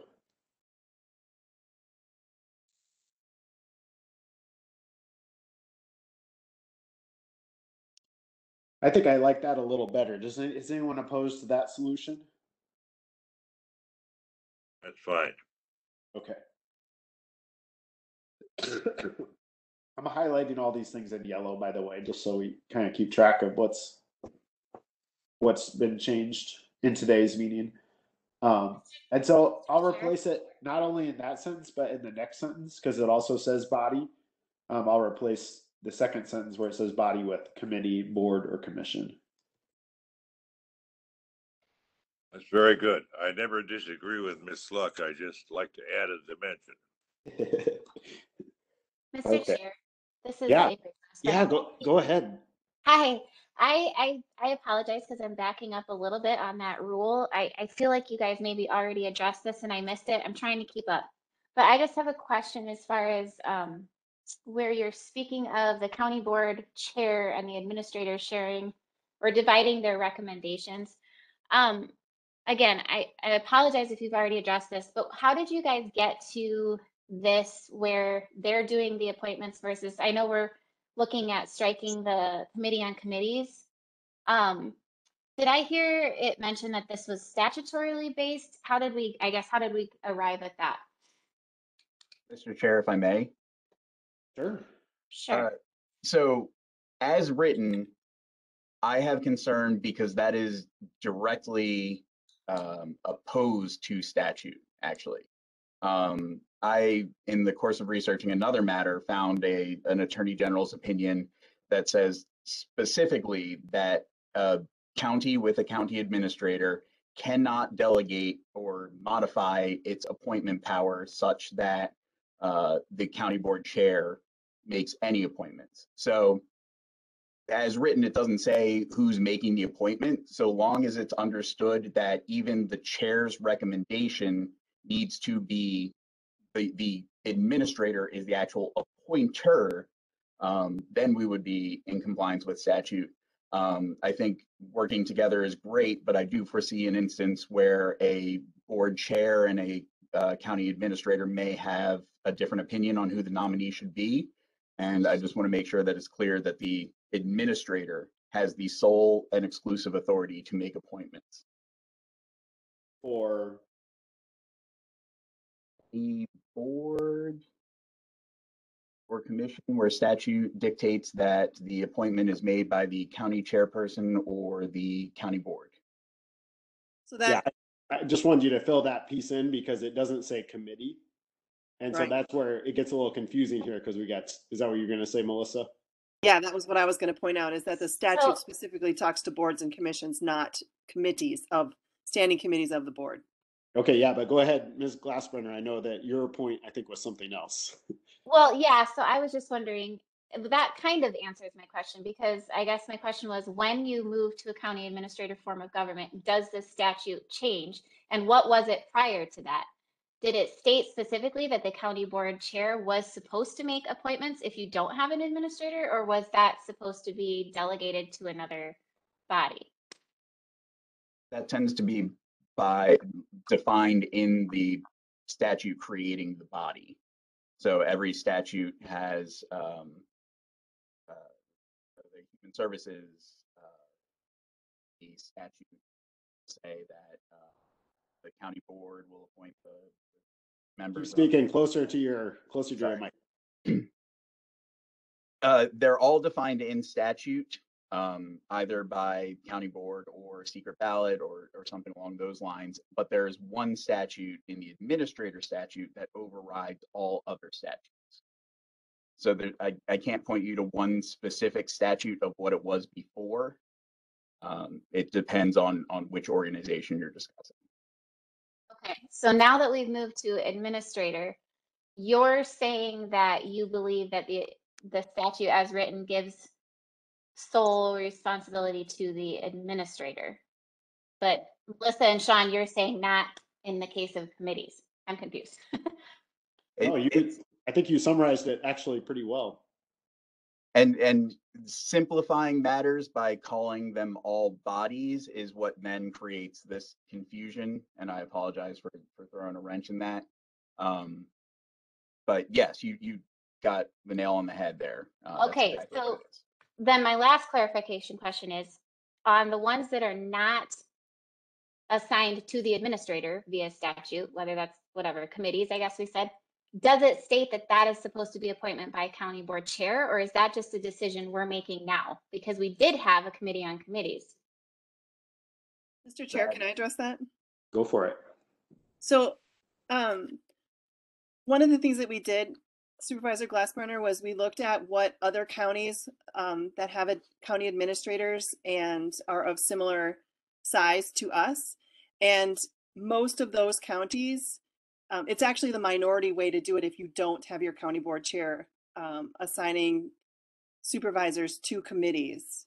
So that was was really, I think, for me, the kind of the defining moment on on making this decision was that most counties do actually have their county board chair assign supervisors to standing committees.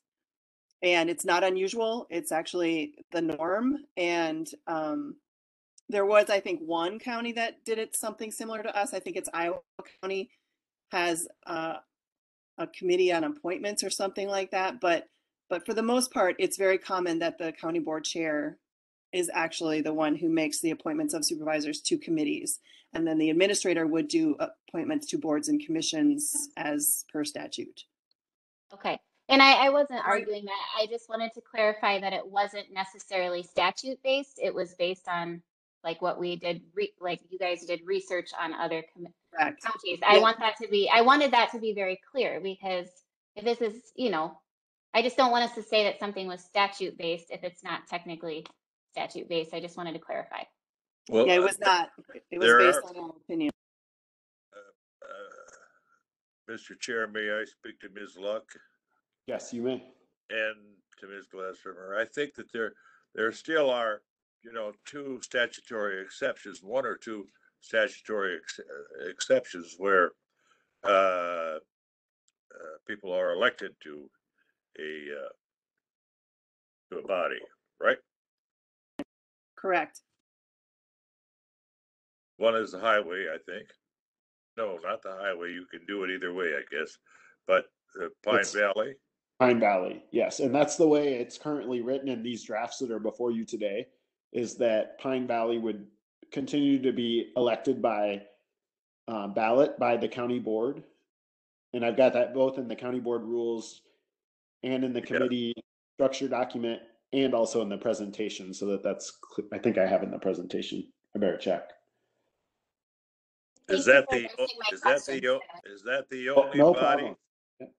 That's the only Is that the only body that's elected? To my understanding, that's the only body that is elected by the, coun- that has to be elected by the county board that we currently have. Okay. Before we had three. We had highway, we had, uh, Pine, Pine Valley, and we had committee on committees. That's correct. I think, um, someone else was gonna jump in and say something? It's Carrie, I, I just had a question for the attorney. I guess I found a statute and I just am curious then. So one statute can override all other statutes, right? Is that what I'm understanding from Mr. Wendell? Correct. Uh, statutory interpretation, generally specificity is favored over generality. Okay. Because I just, I noticed, um, they're sitting here and I was looking at chapter twenty-seven of the Parks Commission. Just says as the chairperson of the county board shall appoint the Parks Commission, and then down in number two, it says in any county with a county executive or county administrator, except in a county with a population of less than hundred fifty thousand, which would be us, which has not by resolution provided for a county parks commission, which we have a resolution that allows for a county parks commission. Um, the county parks commission shall consist of seven members appointed by the executive or county administrator. So in that case, what you're saying is that that statute that you're referring to there overrides that chapter twenty-seven statute. Um, what I suspect is that this was modified after the passage of the administrator statute and just kind of had it, the language baked back into it. That makes sense? Sure. Here's the, here's what I was referring to here. This this line here. I have it pulled up.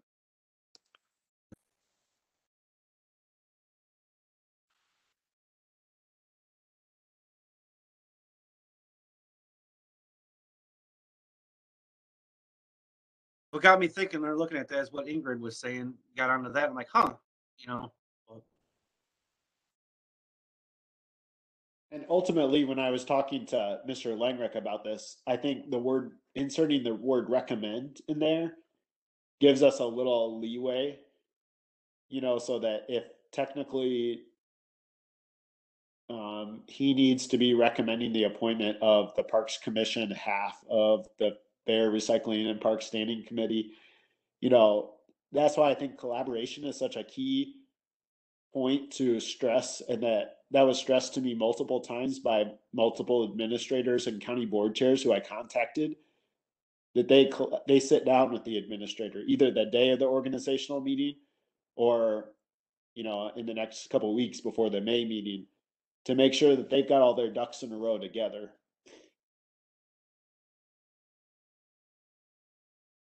Yeah, I would say that the statute that you're pointing to describes the exact process. We can't quite hear you. Um, the, the statute you're pointing to describes the exact process that we're talking about here, where the county administrator would appoint a member to this commission, and then that would be subject to confirmation by board. I don't know why they felt the need to, to spell it out here. Maybe it's because of the population exception and the resolution requirement.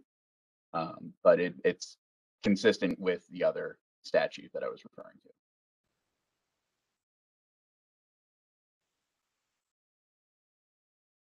Does anyone object if we keep moving on through the rules? I, I have a question whether it's next or not, and maybe you're not addressing it. Can I ask? Yeah, that would be great. Uh, the next thing down talked about, you know, the normal term limits that we've always done, uh, two consecutive, three consecutive terms of three. Since we're reorganizing all the committees, have you addressed how we'll start with that or how, how that will go? No. I have not addressed it, and we have Okay. not, we have not oh. discussed it as a committee. Well, the rules of the board, Sean, I think have it in there that if you change the name of the committee or structure, I think it's if you change the name of the committee, then it re, then it goes right back to for like creating a new committee and then you automatically go back to the six-year term. limit. It's Mr. it's in Chair? the county board rule. Yeah, yeah, go ahead, Ms. Luck.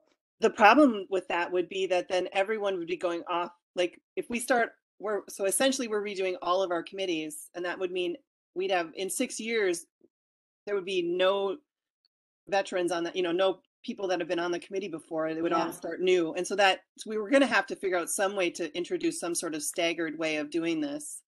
Um, I think, so that we don't have full turnover in six years of every single committee.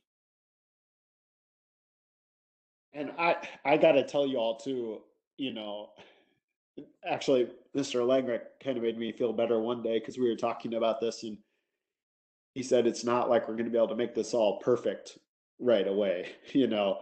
That we'll have to be learning from this, you know, if we decide to go forward with this change and and we'll have to make changes in the in the coming months to address some of these things, but Certainly, there will. The, the term limits that was one thing that when i was going through all these committees commissions and boards sometimes we specify it sometimes we don't. It's i didn't have time i didn't have the bandwidth to do that. I think we might need some help from administration with that. And the other one that really jumped out at me was per diems. Um, doing all this research boy you hear from some people who are like well the county board doesn't let us do per diems and other people say you know you read in other descriptions and it says these people shall be paid per diem from this committee. These people shall not. It's it's very uh it's been cobbled together you know over decades and and it doesn't make a lot of sense. So term between those two things the terms and the per diems we've definitely got some more work to do um to make all this make to be fair And there would be time for that too, because, you know, we'd have a couple years before we even get to the first point of re, you know, reassigning committees. So there's time. Oh, I thought we were doing it soon. No, I'm saying is we would create the committees now, but, but everyone's going to stay on the same committee for at least two years. And so two years from now is when we'd have to know whether we're going to stagger some terms or whatever. Uh, because I, the way he has all those listed, we're not all on the same committee, so I, it's fine with me. Okay, I'm done. good question good question i was definitely thinking about it But Mr. I wasn't talking about it. Yeah. Um, if I can share again, I want to share with you a resolution that kind of spells it out from 1968. You know, it's Resolution 99, but talks about it kind of right about in here. It says members. See where I'm showing at right here? Uh, yeah, we can see your screen. Which paragraph are you reading? Oh, I see it now. Says, I see it be it resolved, and then down where it says members shall be appointed by the chairman of the county board, one of whom shall be appointed for a term of one year, one for a term of two years. But if I scroll down here onto the bottom on where it says Wednesday, January twenty-fourth, it says Chairman Kintz announced the appointment of the following members to the County Parks Commission, and then that's how they did that Yeah. Interesting. for the staggered term. So that might give you an idea right now of how we could maybe do something like that with other other things. Yeah, I like that. They did a good job. All right, Okay. I'll stop sharing. No, no, no, that's good. Thank you for, thank you for bringing this up. It's definitely an issue that we need to, uh, that needs to be addressed. And I don't think we can address it in a short amount of time. It's gonna take some work. We're going to have, Mr. Chairman, I'm sure as we, as we proceed with this over a period of time, we're going to have some bugs and kinks that we will probably want to iron out. Yeah, absolutely. Um, if we go back to the rules on page three, I'm still under rule six. There's a little bit of language in there about the county administrator, um, they, it was that they, they had to advertise, um, in the Richland Observer for vacancies. But I know in a lot of cases we don't advertise because I, now I've gone through enough of these. Um, a good example might be the Economic Development Board. Um, I know that that body's been doing their own recruitment, but um, I just wrote it so that it would give the administrator some more leeway to either solicit nominations in the Richland Observer or to solicit it from a body of the county board. So oftentimes you'll have department heads or you'll have like the nutrition advisory council or whoever it is, they'll be looking for people and and they'll recommend those forward to the county board and those flow through through Mr. Langreck. So I just wanted everyone to know that the way I wrote the language was to give him the options and just to give everyone that chance to object to that way of giving him options if you don't want that.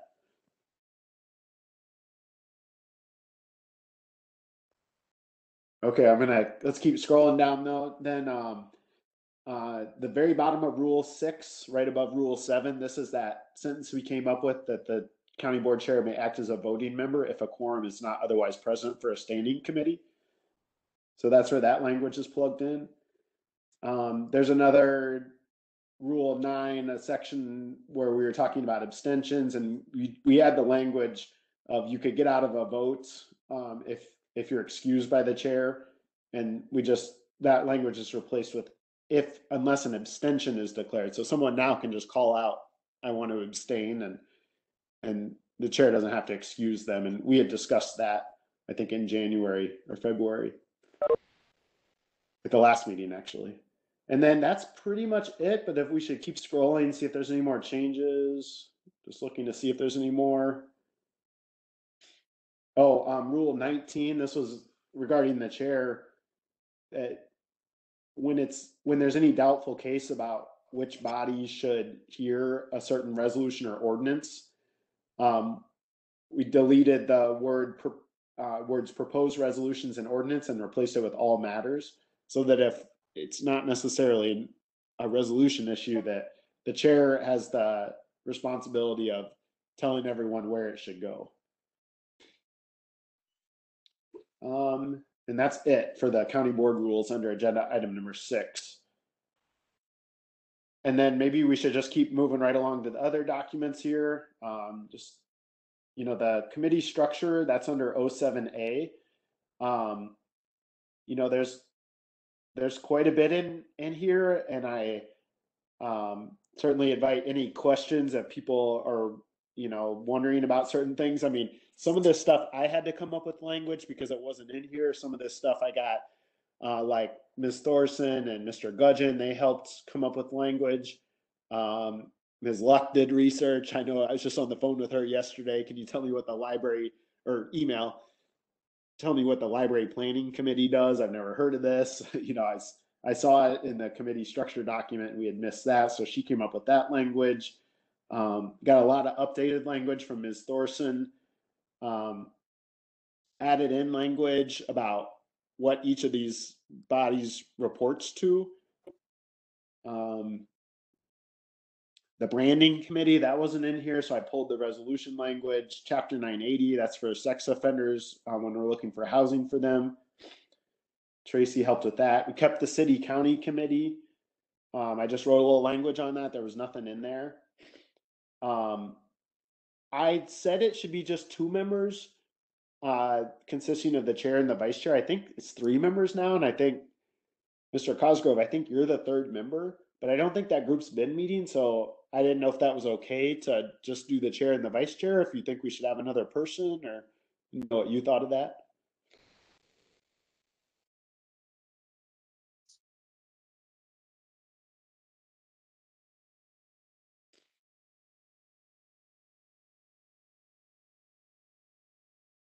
Looking to see if, oh, you're muted. Oh, Not sure if you're trying to talk Supervisor Cosgrove or if you heard my question, but. Just jump in if, I'll just keep scrolling down in this committee structure document to see if anything else jumps out at me. Um, I did talk to Amy forehand about the Criminal Justice Coordinating Committee. Um, so add a little clarifying language there. I kept the economic development one kind of vague because I know that's under debate and, and change right now. Um, Supervisor Gentis, I, I added some language into the Education Standing Committee. Um, I took a shot at it. I know you all talked about that on Monday at strategic planning, but um, some language about promoting the campus as a higher education and cultural center for Richland County. I appreciate that. No problem. I was, I think you had good feedback, and so it's it's in there. Um, uh, finance and personnel pulling out the, um, pulling out the coordination between different departments and moving that to the rules and strategic planning committee. Since the rules committee looks at committee structure and, and, um, I don't know if that's the right decision, but that's, that's what I did. And I- also pulled the audit committee into finance and personnel. So the audit committee would go away. Is this helpful for me to give highlights? Definitely. I think so.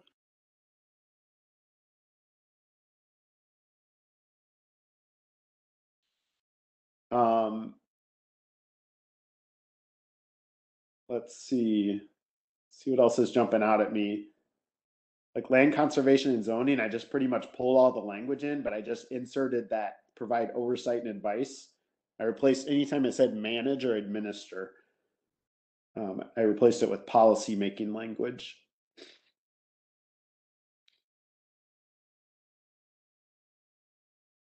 Um, library boards, state law says that those can be supervisors or citizens, and we just always say supervisors, so I, I corrected that on all the, all three library boards.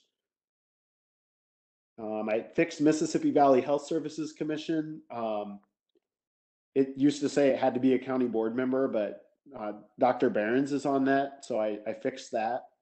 We noticed that problem when we were going through here. Um, let's see here.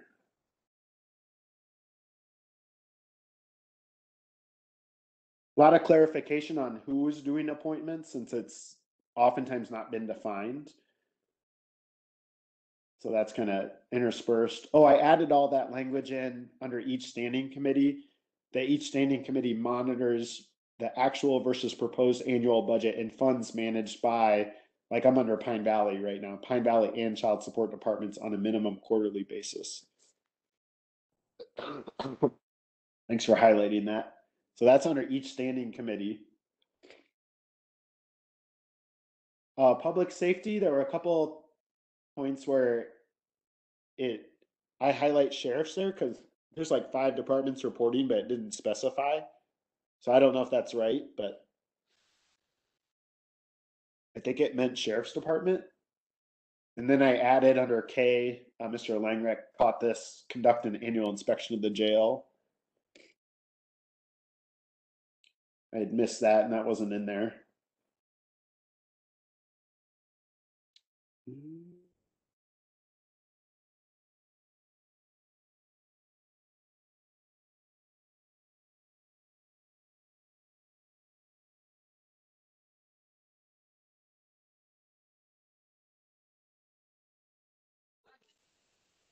I'm not seeing anything else jump out to me.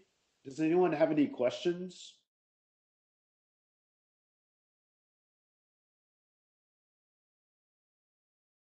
Does anyone have any objections?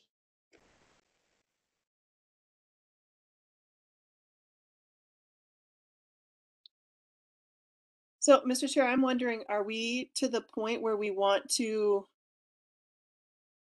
present this to the board as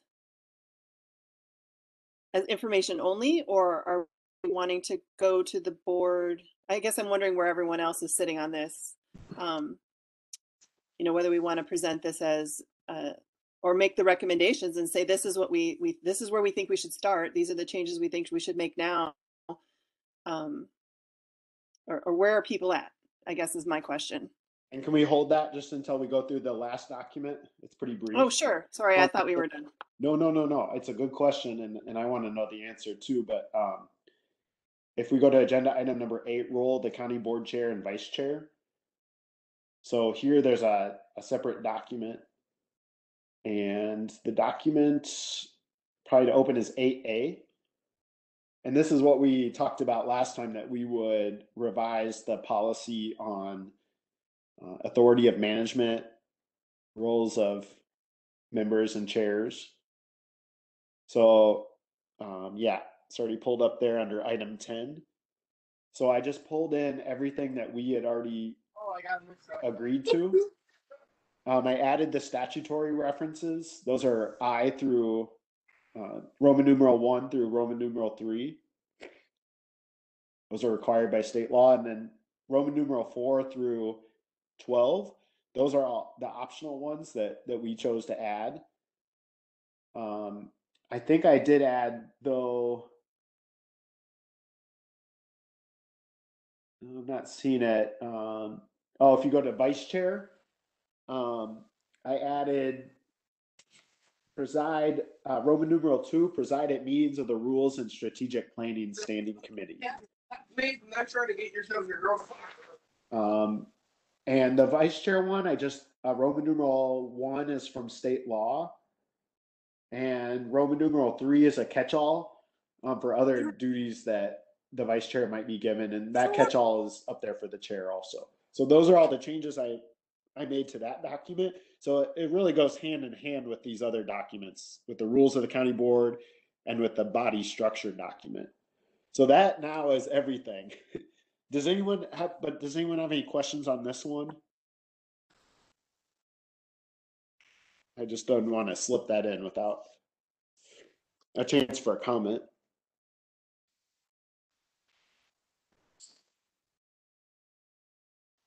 So what do folks think about um, Supervisor Luck's question? Where, where do you want to go with this? Do you, do you want to take it to the county board?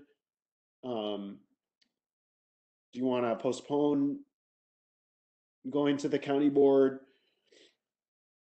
Mr. Do Chair? we, do we need to request a special meeting of the county board if we're not ready for Tuesday? That, that sort of thing. Yeah, go ahead. So, I mean, I, I think there's actually two separate things. I think that we have talked a lot and I think come to a consensus on the chair and vice chair roles. Um, so I don't think there's any question that that should move forward. Um,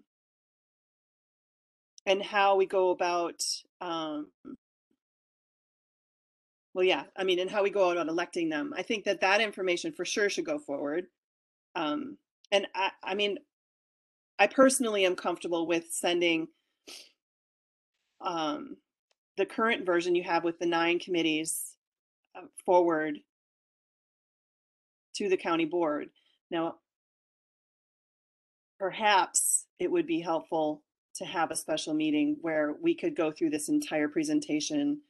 Um, because I think there's going to be a lot of questions and a lot of concerns for the supervisors that have not had the time to attend any of these meetings. Um, so, I mean, I wouldn't be opposed to a special meeting to address this if we think that that would help people really understand and, and have a really good forum for answering all questions uh, at that time. So that's where I'm at.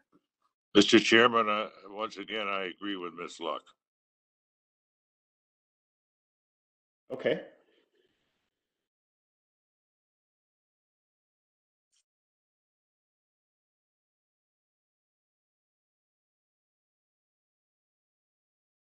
Oh, this is Carrie.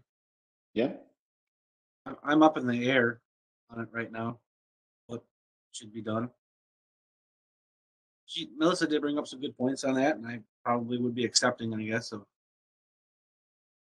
of uh, having, I don't know if we need to do a special meeting of the county board. I guess if you want this, it all comes down to like, if you want this county board to be the ones that are voting on it, or do you want the new county board to vote on it?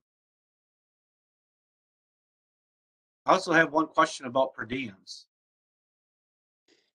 We can talk about that sometime.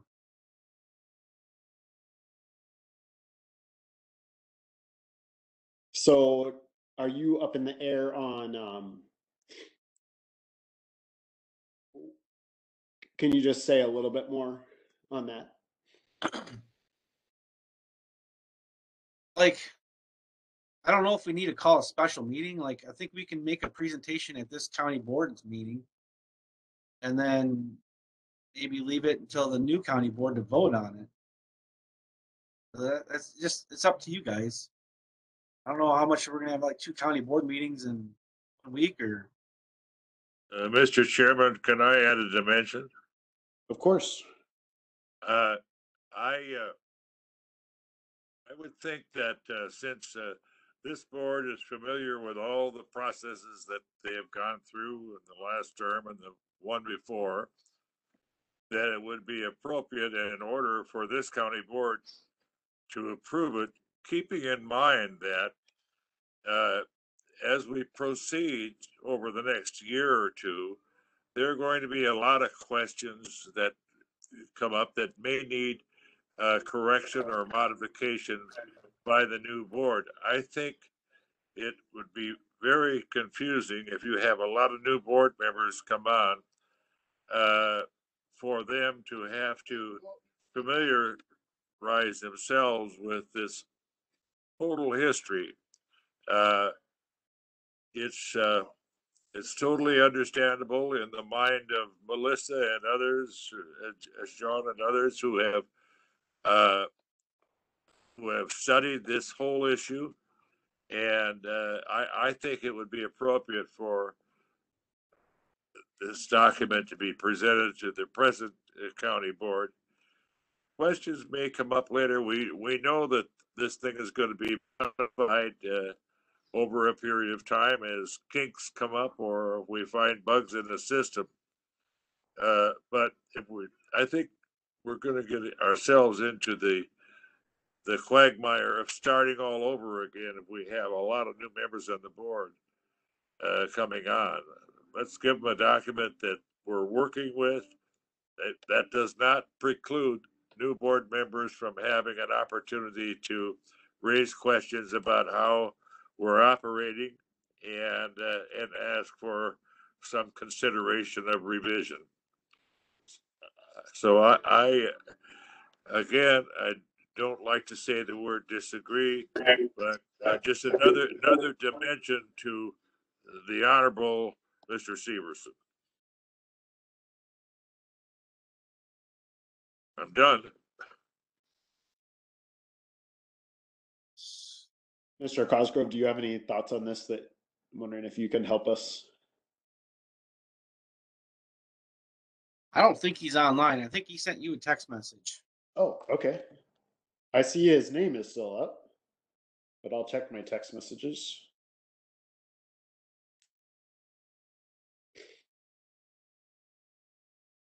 Oh, he had to go pick up his kids at 2:55.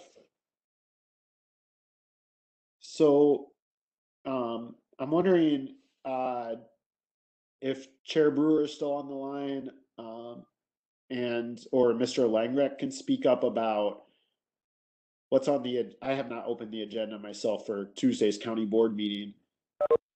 Do you all feel like there's time to discuss this on Tuesday, or do you feel like we need a special meeting? Do you have any thoughts on that? Mr. Chair, this is Administrator Langreck. Uh, some of the ones that are probably going to warrant some discussion is going to be the strategic plan uh, will be coming forward um, for discussion. Uh, other items is going to be the item that we did talk about in length with finance and personnel, which is the spec design for um, soliciting out for a contractor to talk on ambulance. Um, there's a couple other that may warrant some discussion. So um, I, I think that they're all very important, and I guess if if this is something that we're going to try to implement uh, prior to the, putting the new um, the new session in place, then I think it, it has to be on there. If we're comfortable with a delay on it, then yeah, that's then then we're we're not so pressed. Um, I guess I I'll, I'll have to know here shortly on where we stand with it uh, to know how to help structure that organizational meeting. If, if changes in how we're going to uh, implement and roll out for election of a board, a chair and a vice, um, you know, that, that would impact that meeting.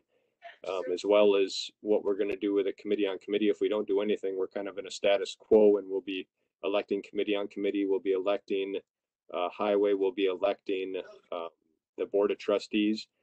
Um, so uh, and, and as well then as like trying to put out a preference sheet and uh, the the biographies and the whole process for running for chair you know those things will have to kind of get at most ricky tick if they're if we want to have that information available for that orientation meeting. Um, as well then too if if we're going status quo uh, the first meeting then would really be like we did last session where we're going to do election of a chair election of a vice election of committee on committees election of board of trustees um, or vacant members, it would just be the ones that are kind of up for vacancy because that is a, a rotating one if my memory serves. Highway will have to be elected, uh, but then we would probably, uh, you know, we take care of other types of businesses, but then we'd have to wait until May then presumably after a committee on committees to have a seating uh, confirmation for all the placements at committees. So that could uh, impact our ability to do committee commission board works uh, through the end of April and beginning of, of May, but if that's, if it's warranted and that's what it takes, then, then so be it. We can, we can still execute that way as well. Thank you. Thank you. And uh, Chair Brewer, do you have any thoughts?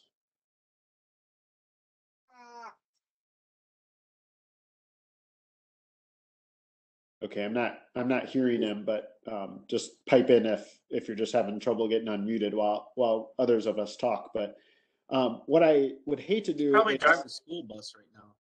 Oh yeah, he probably is. Good point. Um, what I'd hate to do, and I know we've got the chair of the strategic planning committee up here, is to take too much time from that because I know how much work you all have been putting, several people have been putting into that. Um, Not good for us. I, I guess I myself would kind of like this, you know, I agree with Mr. Seep. I'd like this county board to consider it. Um, but I, I think it might take a special meeting and I hate to start splitting things out, you know, splitting the role of the chair and the vice chair out and, and all the documents are created with all the changes kind of intermixed. So it would be kind of a lift for me to separate those out. And I've already spent at least a couple full work days this week working on this. So I guess I'd prefer to uh, to have a Mr. special Chair? meeting. Yeah. Go ahead. Oh, Can we not put on the county board for this next meeting to have a meeting on the third, on the, the fourth? Monday, the twenty, uh, Tuesday, the twenty-second? Just to address this, because I think this is a very good thing that's been being done, and I think we need to give time and let every, and give a good presentation. How do you know what this is? Yeah, I mean, I'm I'm fine with that. Mr. Chairman, Yep. Yep. yes, I, I'm very much in favor of a special informational meeting for at least two hours, perhaps longer, uh, to fully inform the board of uh, what they're going to be voting on at the regular meeting. Uh, unless they're gonna vote on it that meeting. I, I wouldn't think so, but uh, I think we definitely need an education meeting, an informational meeting to lay it all out to them so that we're ready to go. I, I think it's too much to put on a new board. And I think it's a, it's a disservice to all the hard work that's been done by the strategic planning committee. Mr. Chair? Yep. So, I mean, we can't have a special meeting before the March board meeting. So no matter what, if we don't bring it to this March meeting and vote on it, it would not be in place before we would be having our organizational meeting. But we could present it as a special meeting the end of March and then at our organizational meeting, if we voted on this, no, we would still be stuck with the old way though. We'd have to vote for the chair, the vice chair and the other ways until we adopted this. So either way, we're, it doesn't seem likely that this is going to get approved by this board. That closed and that was the last. Am Well, the only, the only thing I would add to, um, or maybe kind of differ a little bit on is, I think if we did a special board meeting on, say, March twenty-second, like Ms. Gentis threw out, Still there, isn't we it? could, we Vote on it could that really night. leave it up to the board. You know, if you don't want to do this, if you think it's too soon, we don't have to move forward. Um, but then we, we're gonna have to go with the old way for everything else. But if we do move forward, it would be helpful to have a vote tonight. So that, so that administration and, and other staff can get ready. Um, so it's, it's really up to that board anyway. You know, I mean, they could either vote it down or they could vote to postpone it or just take no action. Um, or they could vote to move forward with it. The thing I like about doing a special meeting is we don't have any resolutions drawn up. I made several changes today based on the feedback that you all had. Um, it would give you all a little more time to read through it. You know, so we could do, uh, and, and we're missing one member. Um, you know, so we, we, we could reconvene, um, here in the next, um, you know, less than a week. We probably need to reconvene before the county board meeting because, well, before the fifteenth, before our regular one, because we'll need to get their buy-in to do a special meeting. Um, so, you know, if we met, say, like on Monday, we could have some resolutions drafted by then. We could have these updated documents and, and just kind of tie up loose ends before we go to a special meeting. Makes sense to me. I like the idea of, of having the ability to take action on the twenty-second if the board so chooses. And then we would be able to have our, organi- if they did, if we did decide to adopt it, then we would be in place to go ahead and have our organizational meeting with the new, and vote for the chair in the new format. Is that, a- uh, are you making a motion? Um, I can make that a motion if that's what we're, do we need a motion? Is that what we, we're looking for? I think we do need, I think we do need a motion just so that we're all on the same page and there's a record of what we did today.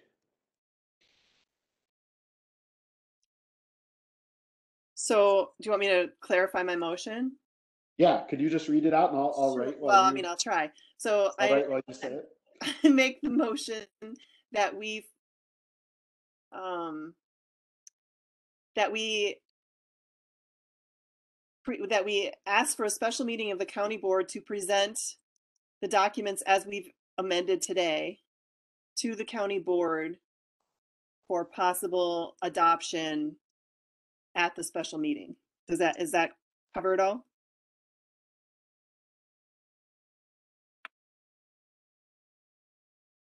Let me read it out. So this is a motion that we ask for a special meeting of the county board to present these documents as amended today for possible adoption at the special meeting. Can I say something? I think you should say before the end of March because in that motion.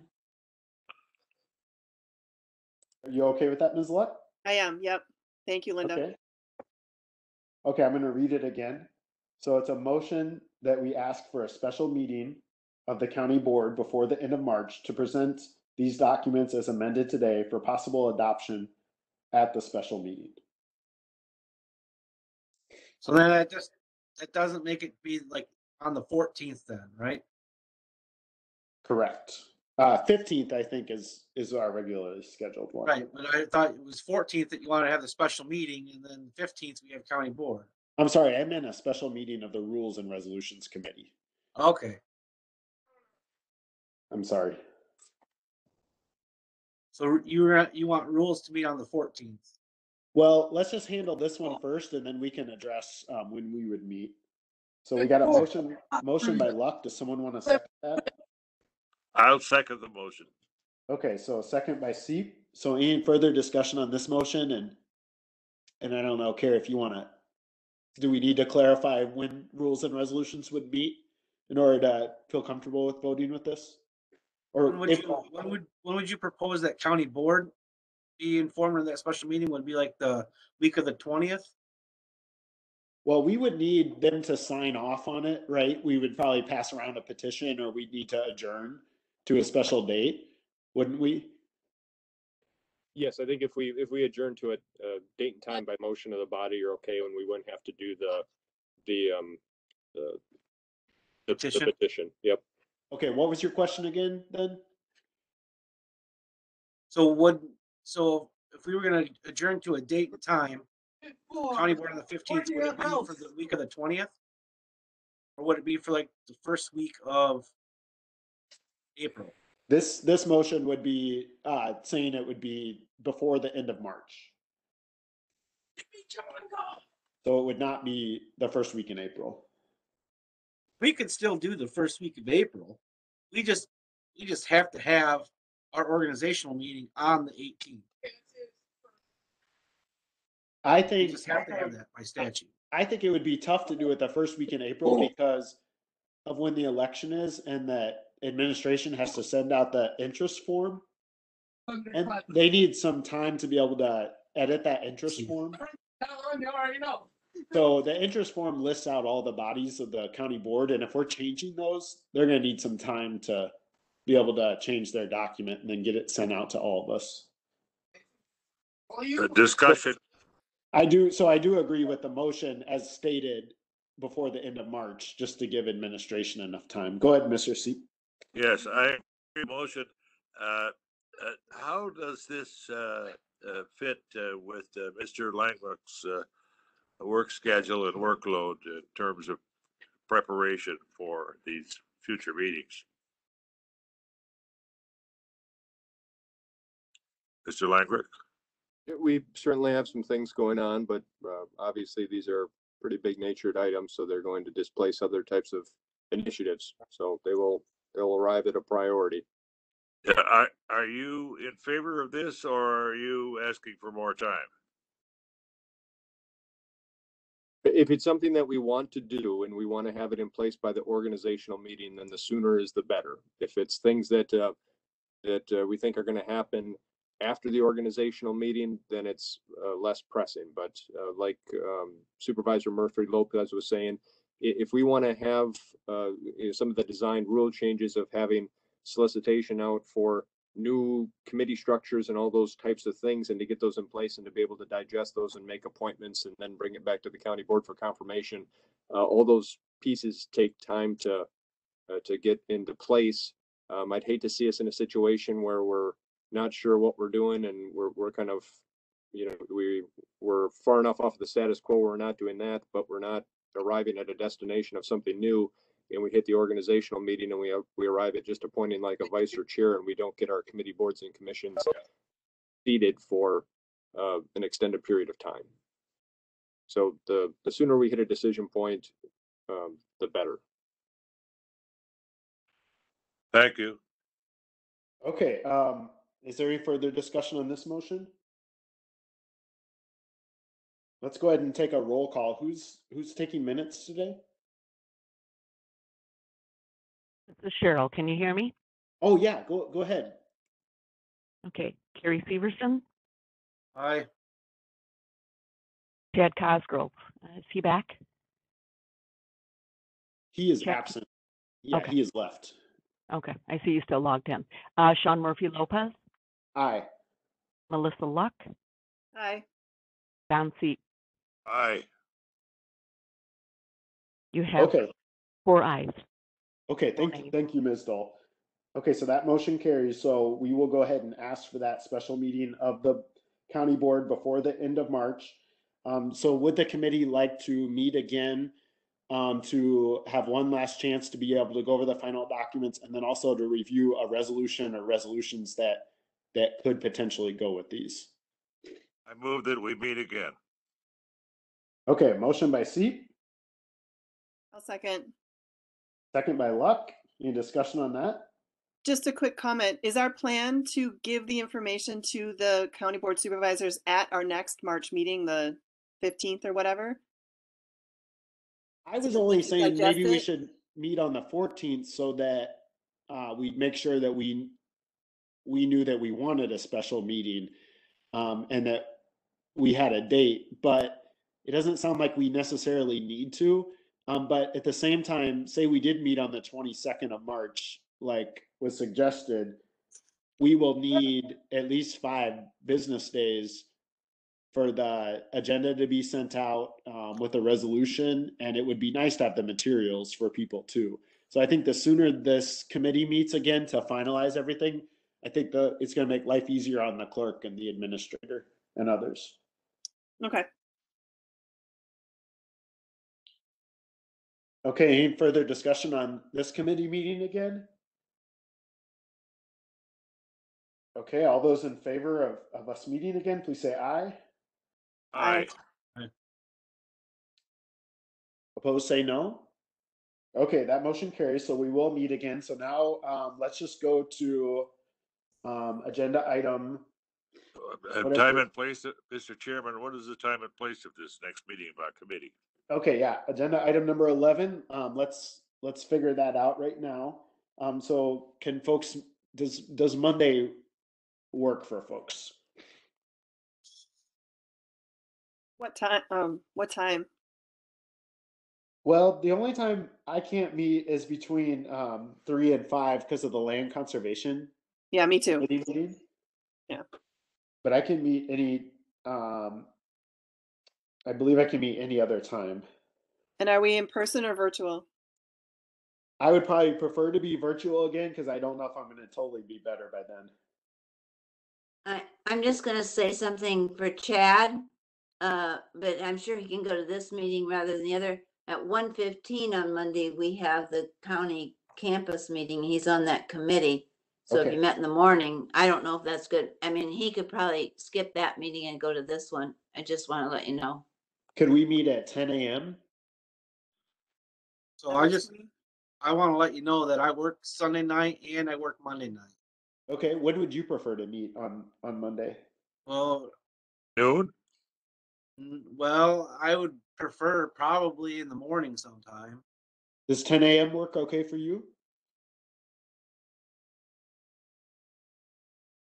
Would you prefer earlier? So that you can go to bed right after? Yeah. Okay. How about uh 9 a.m.? Or would you rather have 8? Eight thirty. 8:30? Okay. Is anyone opposed to meeting at 8:30 a.m. on Monday? That works for me. I won't be able to sleep in. no, you won't. Mr. Langreck, does that work for you? Uh, this is a priority meeting, so I will make it work. I think there is economic development, there's, uh, northern counties and then Wisconsin Counties Association going on, but those are all of less priority. I will be here at this one. Okay. Um, I'll, I'll have to double check. I don't, if, if, uh, Director Scott is on or someone from MIS to know that we have MIS support, or is this a meeting you plan on doing at the county boardroom? This would be uh we're I'm hoping to do it on WebEx. Okay. So we would need support if that's possible. Okay, I will coordinate for support at eight thirty. Okay. Um, and then I don't think, uh, I don't think we're gonna address agenda item number ten, future agenda items unless someone pipes up.